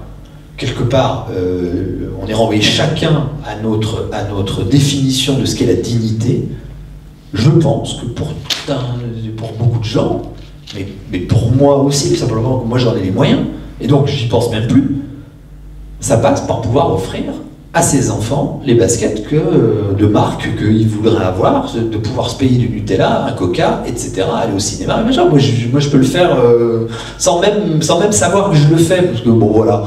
Euh, bon, j'aime pas le Nutella, mais, mais, mais, c'est, mais, mais voilà, si je veux m'acheter un truc, je peux, oui, je faire attention, mais j'ai pas, pas de problème. Quand vous êtes dans des métiers back-office, ben, votre, votre, votre, revenu à la fin du mois, on avait posé une question précisément liée à ça, euh, dans, l'enquête qu'on a faite. Pouvez-vous vous payer un, petit plaisir? Restaurant, sortie, euh, vacances, je sais pas quoi, enfin un, petit plaisir, un truc. Euh, pas euh, est-ce que vous pouvez vous acheter une maison? Parce que c'est un plan sur la vie, vous allez rembourser, etc. C'est pas ça, c'est un petit plaisir. 93% disent non, je peux pas me payer un petit plaisir. Ou alors il faut vraiment, euh, je, rogne sur autre chose, C'est ça. Donc, par rapport à votre première question, on, est, on est vraiment dans, cette, ça. Et donc on bascule sur la deuxième question, et c'est toujours la même chose, c'est quoi la définition de de, qui on est, de comment on s'épanouit euh, dans, son, euh, dans, à travers son, à travers son, travail, euh, ben, on, est, on est chacun ramené à, à, son propre, à sa propre définition. on entend souvent la question, la, vous, vous, connaissez cette expression, la, la valeur travail la valeur travail, la valeur travail, les jeunes n'ont plus la valeur travail, la valeur travail se perd, il faut revaloriser la valeur travail, la valeur travail, la travail. C'est un truc qui m'énerve un peu. enfin, personnellement, ça n'existe pas la valeur travail. Le travail existe. Et le travail, on va y mettre chacun ses valeurs à soi. On a des valeurs, on a des. Voilà, c'est pas la valeur qui n'existe pas, on a chacun nos valeurs. Certains, euh, dans les enquêtes, on voit ça très bien, certaines personnes travaillent pour... Euh, parce que c'est essentiellement ce qu'il y a en bas, euh, à, droite sur la fiche de paie qui est important. D'autres parce qu'ils vont rencontrer des collègues, d'autres parce qu'ils vont s'épanouir, d'autres parce que c'est une vocation, d'autres parce qu'ils n'ont pas le choix, d'autres, bah, etc. Donc, ça, le travail, c'est d'abord une activité qui met en jeu les valeurs de l'individu. C'est pas une valeur en soi, pas une valeur. C'est une, action, c'est une activité. Et chacun va définir comment il, se, reporte au travail. Alors, on a des enquêtes où, qui nous disent que très majoritairement, les Français accordent de l'importance à leur travail, euh, que c'est une. Enfin, ils, ils en attendent euh, de l'épanouissement, ils en attendent un lien social, ils en, ils en, ils en attendent beaucoup, ça c'est sûr. Ils sont souvent déçus. Euh, donc, par rapport à la question que vous, vous posiez, on est renvoyé chacun à, la manière dont on se situe par rapport à son travail. Sauf que, quand vous avez un travail dans lequel vous êtes, euh, vous, vous, connaissez une forme d'autonomie, où on va faire appel à euh, votre, euh, votre créativité, votre personnalité, vos compétences reconnues par un diplôme ou votre savoir-être, etc. Vous pouvez, pour le coup, vous avez une gamme plus large, pour euh, mettre, euh, pour, réaliser vos valeurs à travers votre travail. Quand euh, votre travail est, beaucoup, est très contraint, décidé par d'autres, de l'extérieur, etc., là, vous êtes, vous êtes beaucoup plus... D'abord, vous ne touchez pas l'autonomie, vous, n'êtes pas autonome quand bien même vous êtes un citoyen autonome dès que vous avez fini, votre travail. C'était tout le paradoxe du travail pendant très très longtemps, c'est que les gens, on leur, on leur, donnait le droit de vote, ils avaient, ils avaient des enfants, on ne leur demandait pas un permis d'être parents euh, pour avoir des enfants, euh, ils avaient le droit de vote, euh, ils pouvaient, etc. Sauf qu'à un moment, quand ils arrivaient dans l'entreprise, on leur demandait plus leur avis. Et c'était la grande phrase de Jean Auroux, donc ministre du Travail, qui a fait les lois Auroux au début des années 80, qui disait l'entreprise, l'usine à l'époque, ne doit pas être le lieu du bruit des machines et du silence des hommes. Mais c'était ça, c'était comment on s'exprime sur son travail, comment on s'exprime en tant que. Est-ce qu'on peut arriver à faire rentrer le citoyen dans, l'entreprise Le citoyen dans le sens de. On va pas, pas l'idée qu'on va voter. Le citoyen, savoir une personne responsable, autonome, consciente, et c'est à ça, c'est ces qualités-là qu'on va faire appel à, travers le, va faire appel à travers le, travail. Donc voilà les, les, conditions. Et donc après, est-ce que le travail est une contrainte? Euh, bah, une fois, j'aimerais pouvoir dire que idéalement, il ne faudrait pas qu'il le soit. C'est que euh, moi, souvent, je définis le travail comme étant un commun incarné. Un commun incarné. qu'est-ce que je veux dire quand je, quand je dis ça? C'est-à-dire que le commun, pourquoi? Alors, d'abord, incarné, pourquoi? C'est parce que le travail, ça met en jeu le corps de l'individu, son esprit. Euh, c'est, quand bien même on est à distance, hein, quand on travaille, euh, le, corps est là. Le corps est là. Euh, d'où toute la question des pénibilités. Il y a un moment, voilà, c'est, le, le, corps peut faire, peut faire mal. Et c'est un commun parce qu'on ne travaille jamais seul. C'est un grand fantasme, notamment on parlait des auto-entrepreneurs, il y, a tout un moment, euh, plein de gens, ouais, je, veux être mon propre patron, je, veux dépendre de personne. En fait, qu'est-ce qu'on dit derrière? C'est pas la liberté absolue, c'est l'autonomie, c'est pouvoir s'organiser comme on veut. C'est ça qui est, qui est en jeu. Et donc on ne travaille jamais seul. Et l'autre, autrui, dans le travail, il est toujours la transparence et l'obstacle. Il est toujours celui sans qui je ne peux pas faire mon travail, et qui en permanence m'empêche de le faire comme je voudrais le faire, et dois-je tenir compte de lui. La chaîne tayloriste, la chaîne automobile, la chaîne de Charlie, de Charlot, de Charlot, elle est déshumanisante mais elle est psychologiquement extrêmement reposante. Pourquoi? Parce que si le travail de l'autre est bien fait, la chaîne arrive, vous avez à faire votre travail, s'il est bien fait, l'autre va prendre la suite, et, vous n'avez pas à vous préoccuper ni de ce qui est avant, ni de ce qui est après. Psychologiquement, c'est reposant. Humainement, ça n'a aucun sens, mais euh, psychologiquement, c'est reposant. Dès que vous cassez la chaîne, et que vous êtes en mode, euh, comme on dit dans les entreprises aujourd'hui, coopératif, collaboratif, etc., l'autre devient un souci. Vous devez en permanence faire avec lui. Et l'autre, c'est un sacré emmerdeur. Et en même temps, c'est celui qui va vous aider, sur lequel vous allez prendre appui pour bien faire votre travail.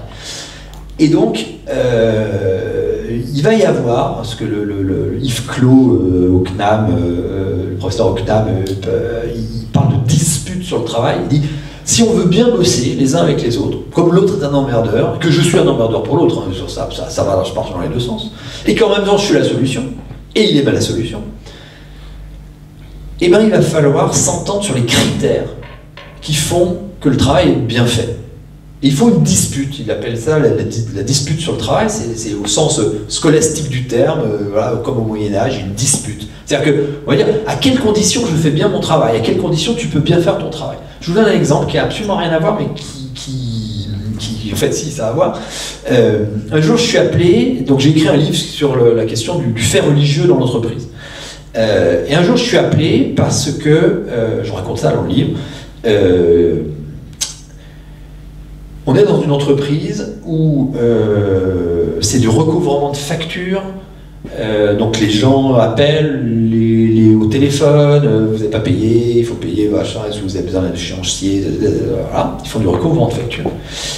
Il y a des dames, euh, c'est essentiellement des dames, qui font le ramadan. Elles sont musulmanes et elles font, le, elles font le, ramadan et elles demandent, première année, il y a quelques années en arrière, le ramadan tombait pendant l'été. Donc pour les personnes qui, jeûnaient, bah, c'était euh, d'abord ça commençait tôt, ça terminait tard, et euh, c'était euh, fatigant parce qu'il faisait chaud.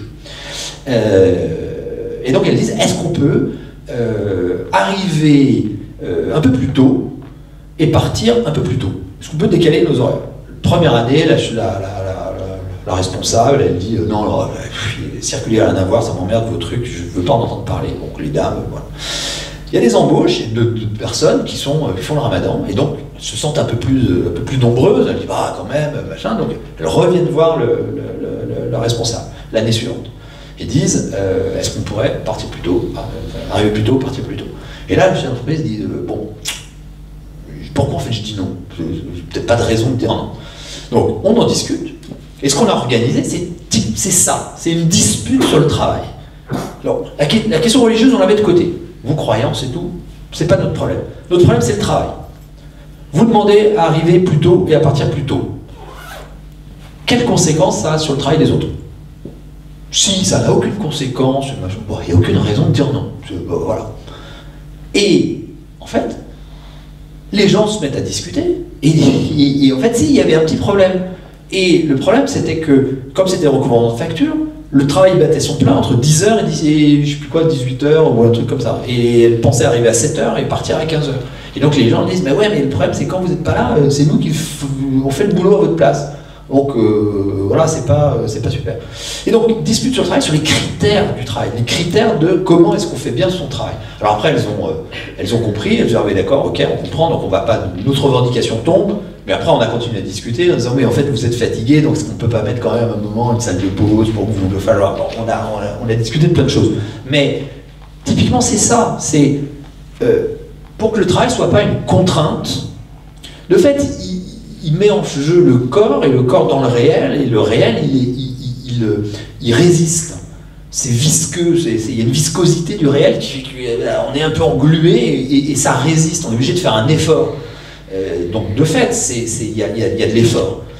Euh, mais un effort qui peut donner une satisfaction, euh, pourquoi pas. Le pire, c'est les efforts qui, à la fin, n'ont aucun sens. Et là, à ce moment-là, ça épuise. Mais si l'effort a du sens, on comprend pourquoi on le fait et, on arrive à le faire, il est soutenable, à ce moment-là, il, est plutôt satisfaisant. Mais pour que le travail ne soit pas uniquement une contrainte, il faut qu'on comprenne ce qu'on est en train de faire, qu'on enrichisse le contenu de son travail et qu'on négocie en permanence avec les autres pour que euh, euh, on, puisse, bien faire, son boulot. C'est du boulot, c'est du. Enfin, c'est qui dit ça, et euh, évidemment, on peut, dire ouais, ça c'est- du boulot ou ça c'est pas du boulot. Ça c'est- important. Je sais pas si je réponds à vos questions, mais euh, voilà, en tout cas, c'est pas facile. Non, mais c'est pas facile philosophiquement de dire. euh, de dire euh, ça met en jeu des trucs perso.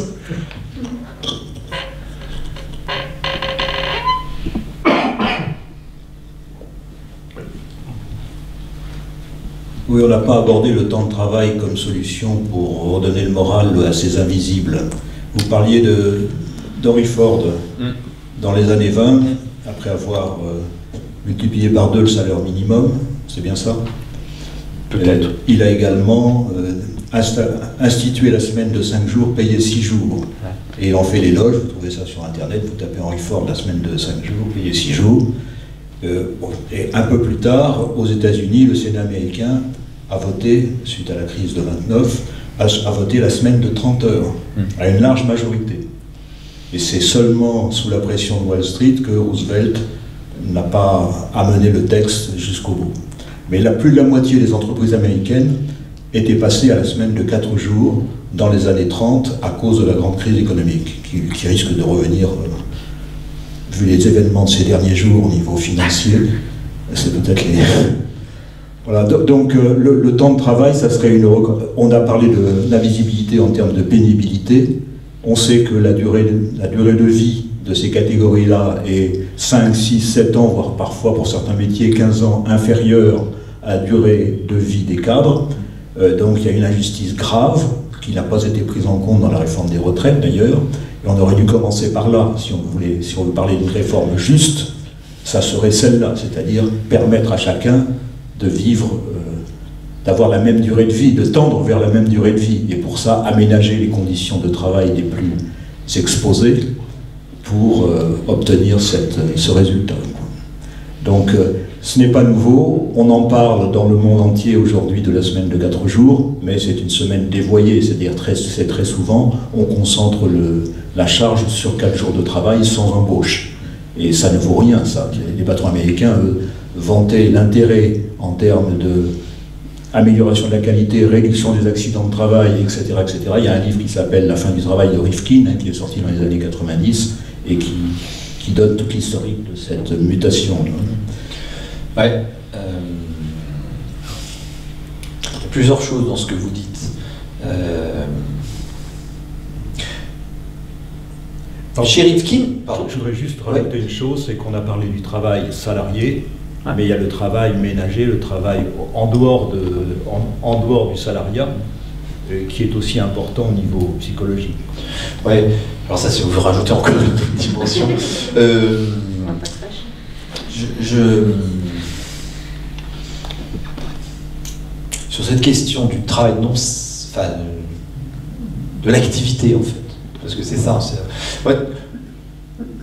Je, veux dire, je suis un vieux travailliste, on va dire. C'est- c'est- je pense que le travail, il y a un moment, c'est l'utilité que vous en avez, le sens que vous ça, tout ça est matérialisé à la fin par, par un chiffre.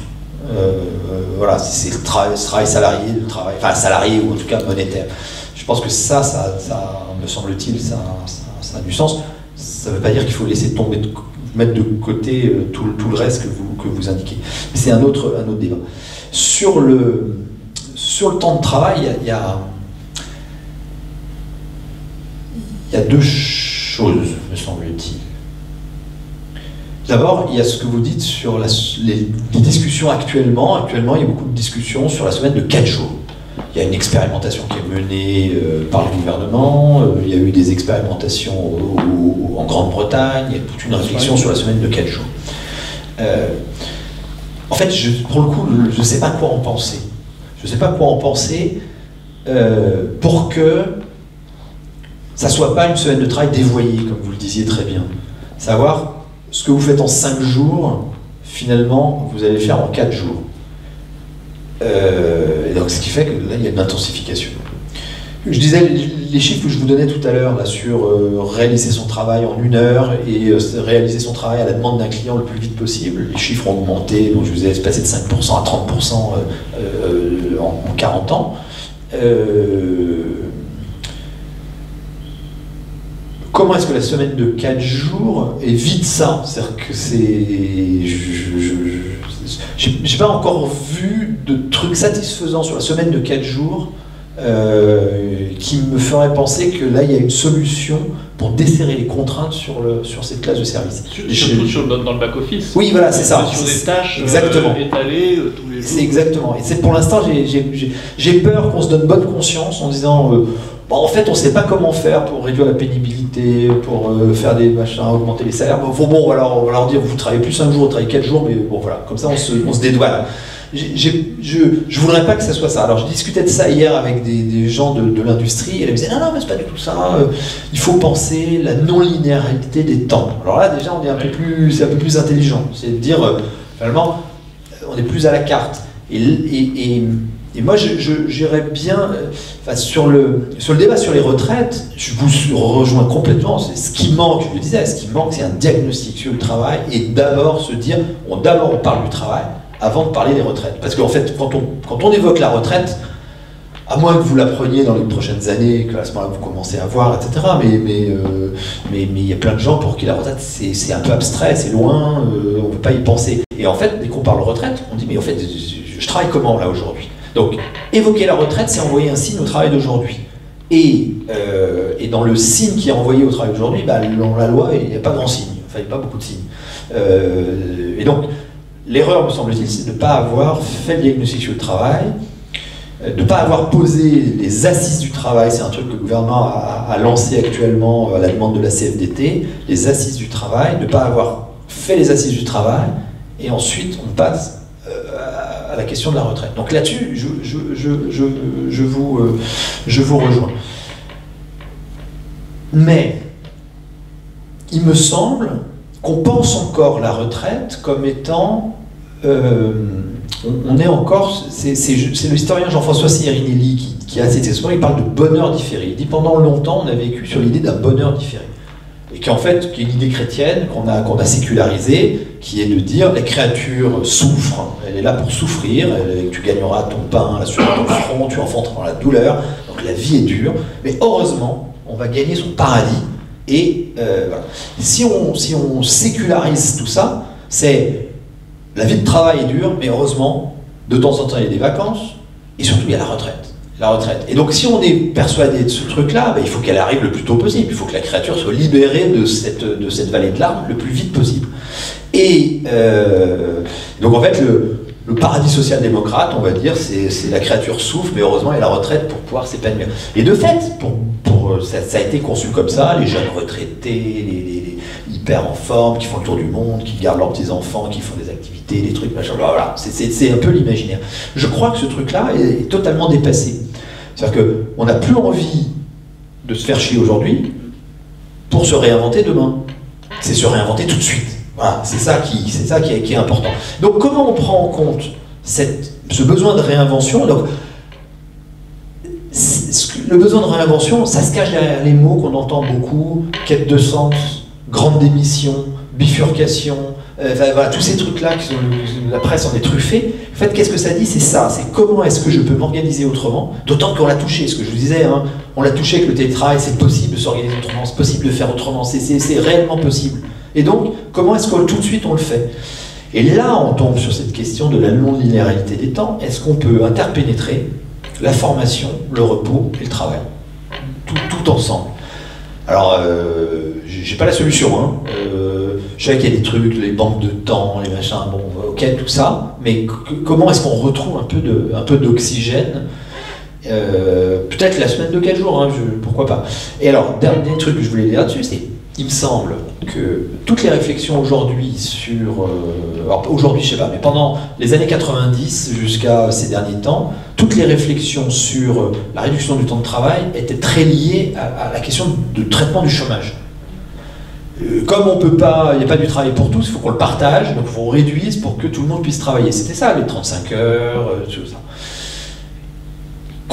Par rapport au Front populaire en 1936 et encore en 1981, quand on a réduit les...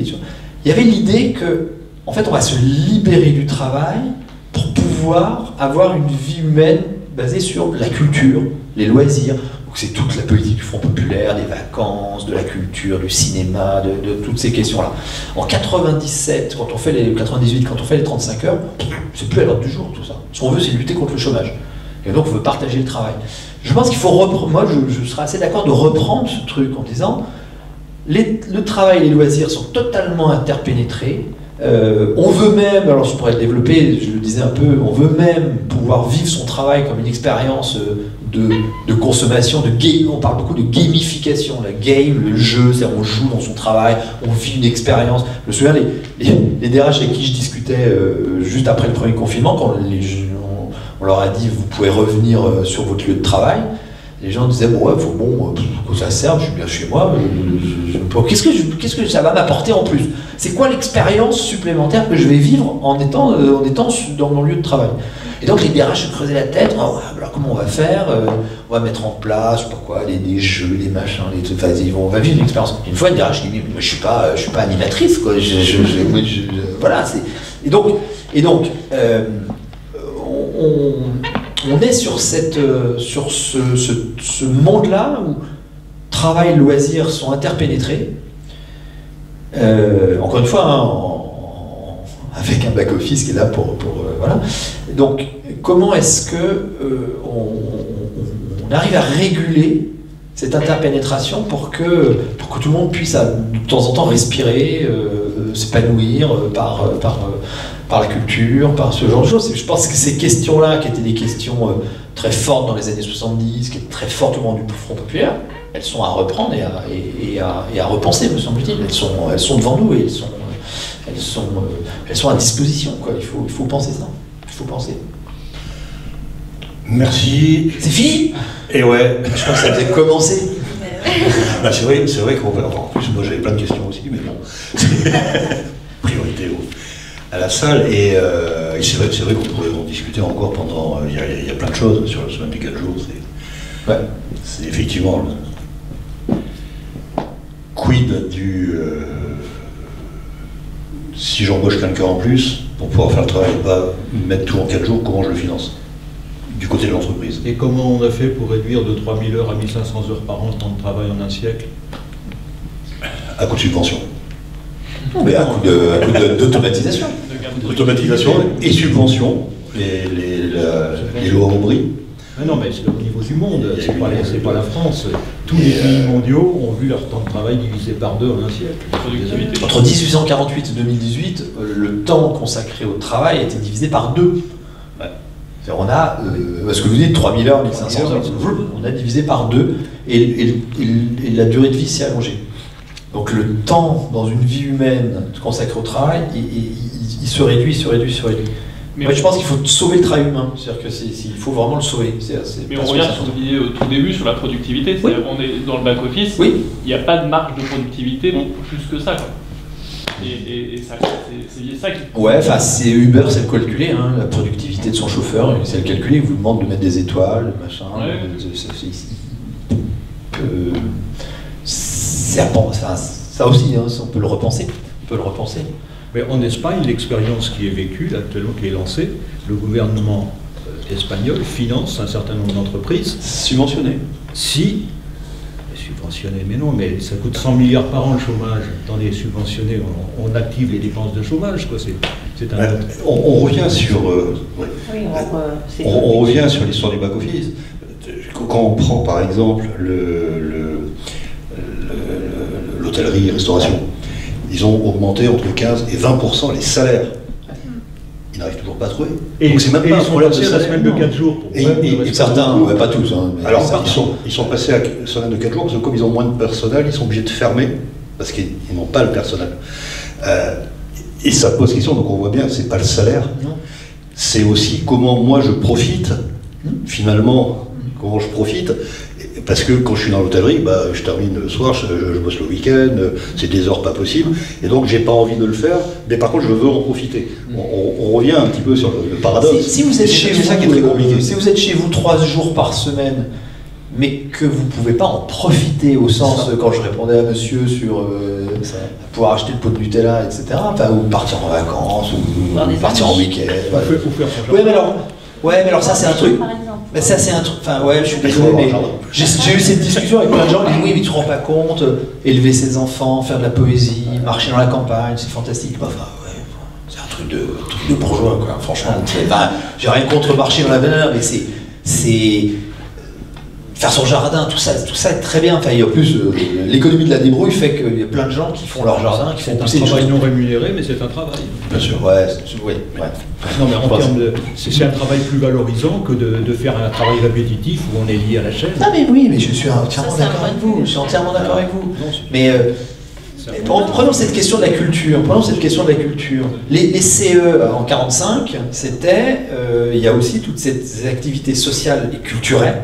On disait, euh, l'entreprise va être mise à contribution à travers ces CE pour euh, apporter la culture, etc.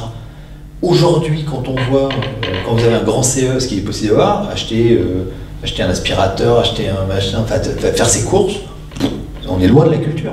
Ça aussi, c'est- totalement, totalement à repenser. Moi, je suis pour un truc, je vous donne juste mon idée, je suis pour un truc, on prend toutes les, toutes les dotations CE, on fait un grand fonds et on distribue à tous les gens qui travaillent sur du spectacle vivant. C'est-à-dire qu'il ne faut pas qu'on délocalise et qu'on aille acheter des trucs. euh, voilà. Et on essaye de concurrencer avec du spectacle vivant, essayer de concurrencer les plateformes, parce qu'aujourd'hui, la culture, c'est quoi? C'est être chez soi et, et- et- et avoir accès à Netflix. Très individuel. C'est hyper individualiste. Voilà. On, on est obligé d'arrêter. Euh, merci pour, bah, pour tous ces échanges. Et merci beaucoup pour. Merci de votre invitation, de l'écoute et de. Merci beaucoup. Donc Denis Maillard, euh, ses livres, vous les retrouvez aux sous-études, l'Observatoire, euh, enfin, euh, vous retrouvez sur Internet, hein, il y, a beaucoup de productions. hein, et vraiment, c'est une originalité, non, non, mais je, une originalité de l'approche que je trouve vraiment intéressante. La preuve, c'est que ça, voilà, ça suit. C'est une autre manière de voir les choses, mais que je trouve euh, très, très riche. Et. Et, et en plus vivante. J'espère. Merci à vous.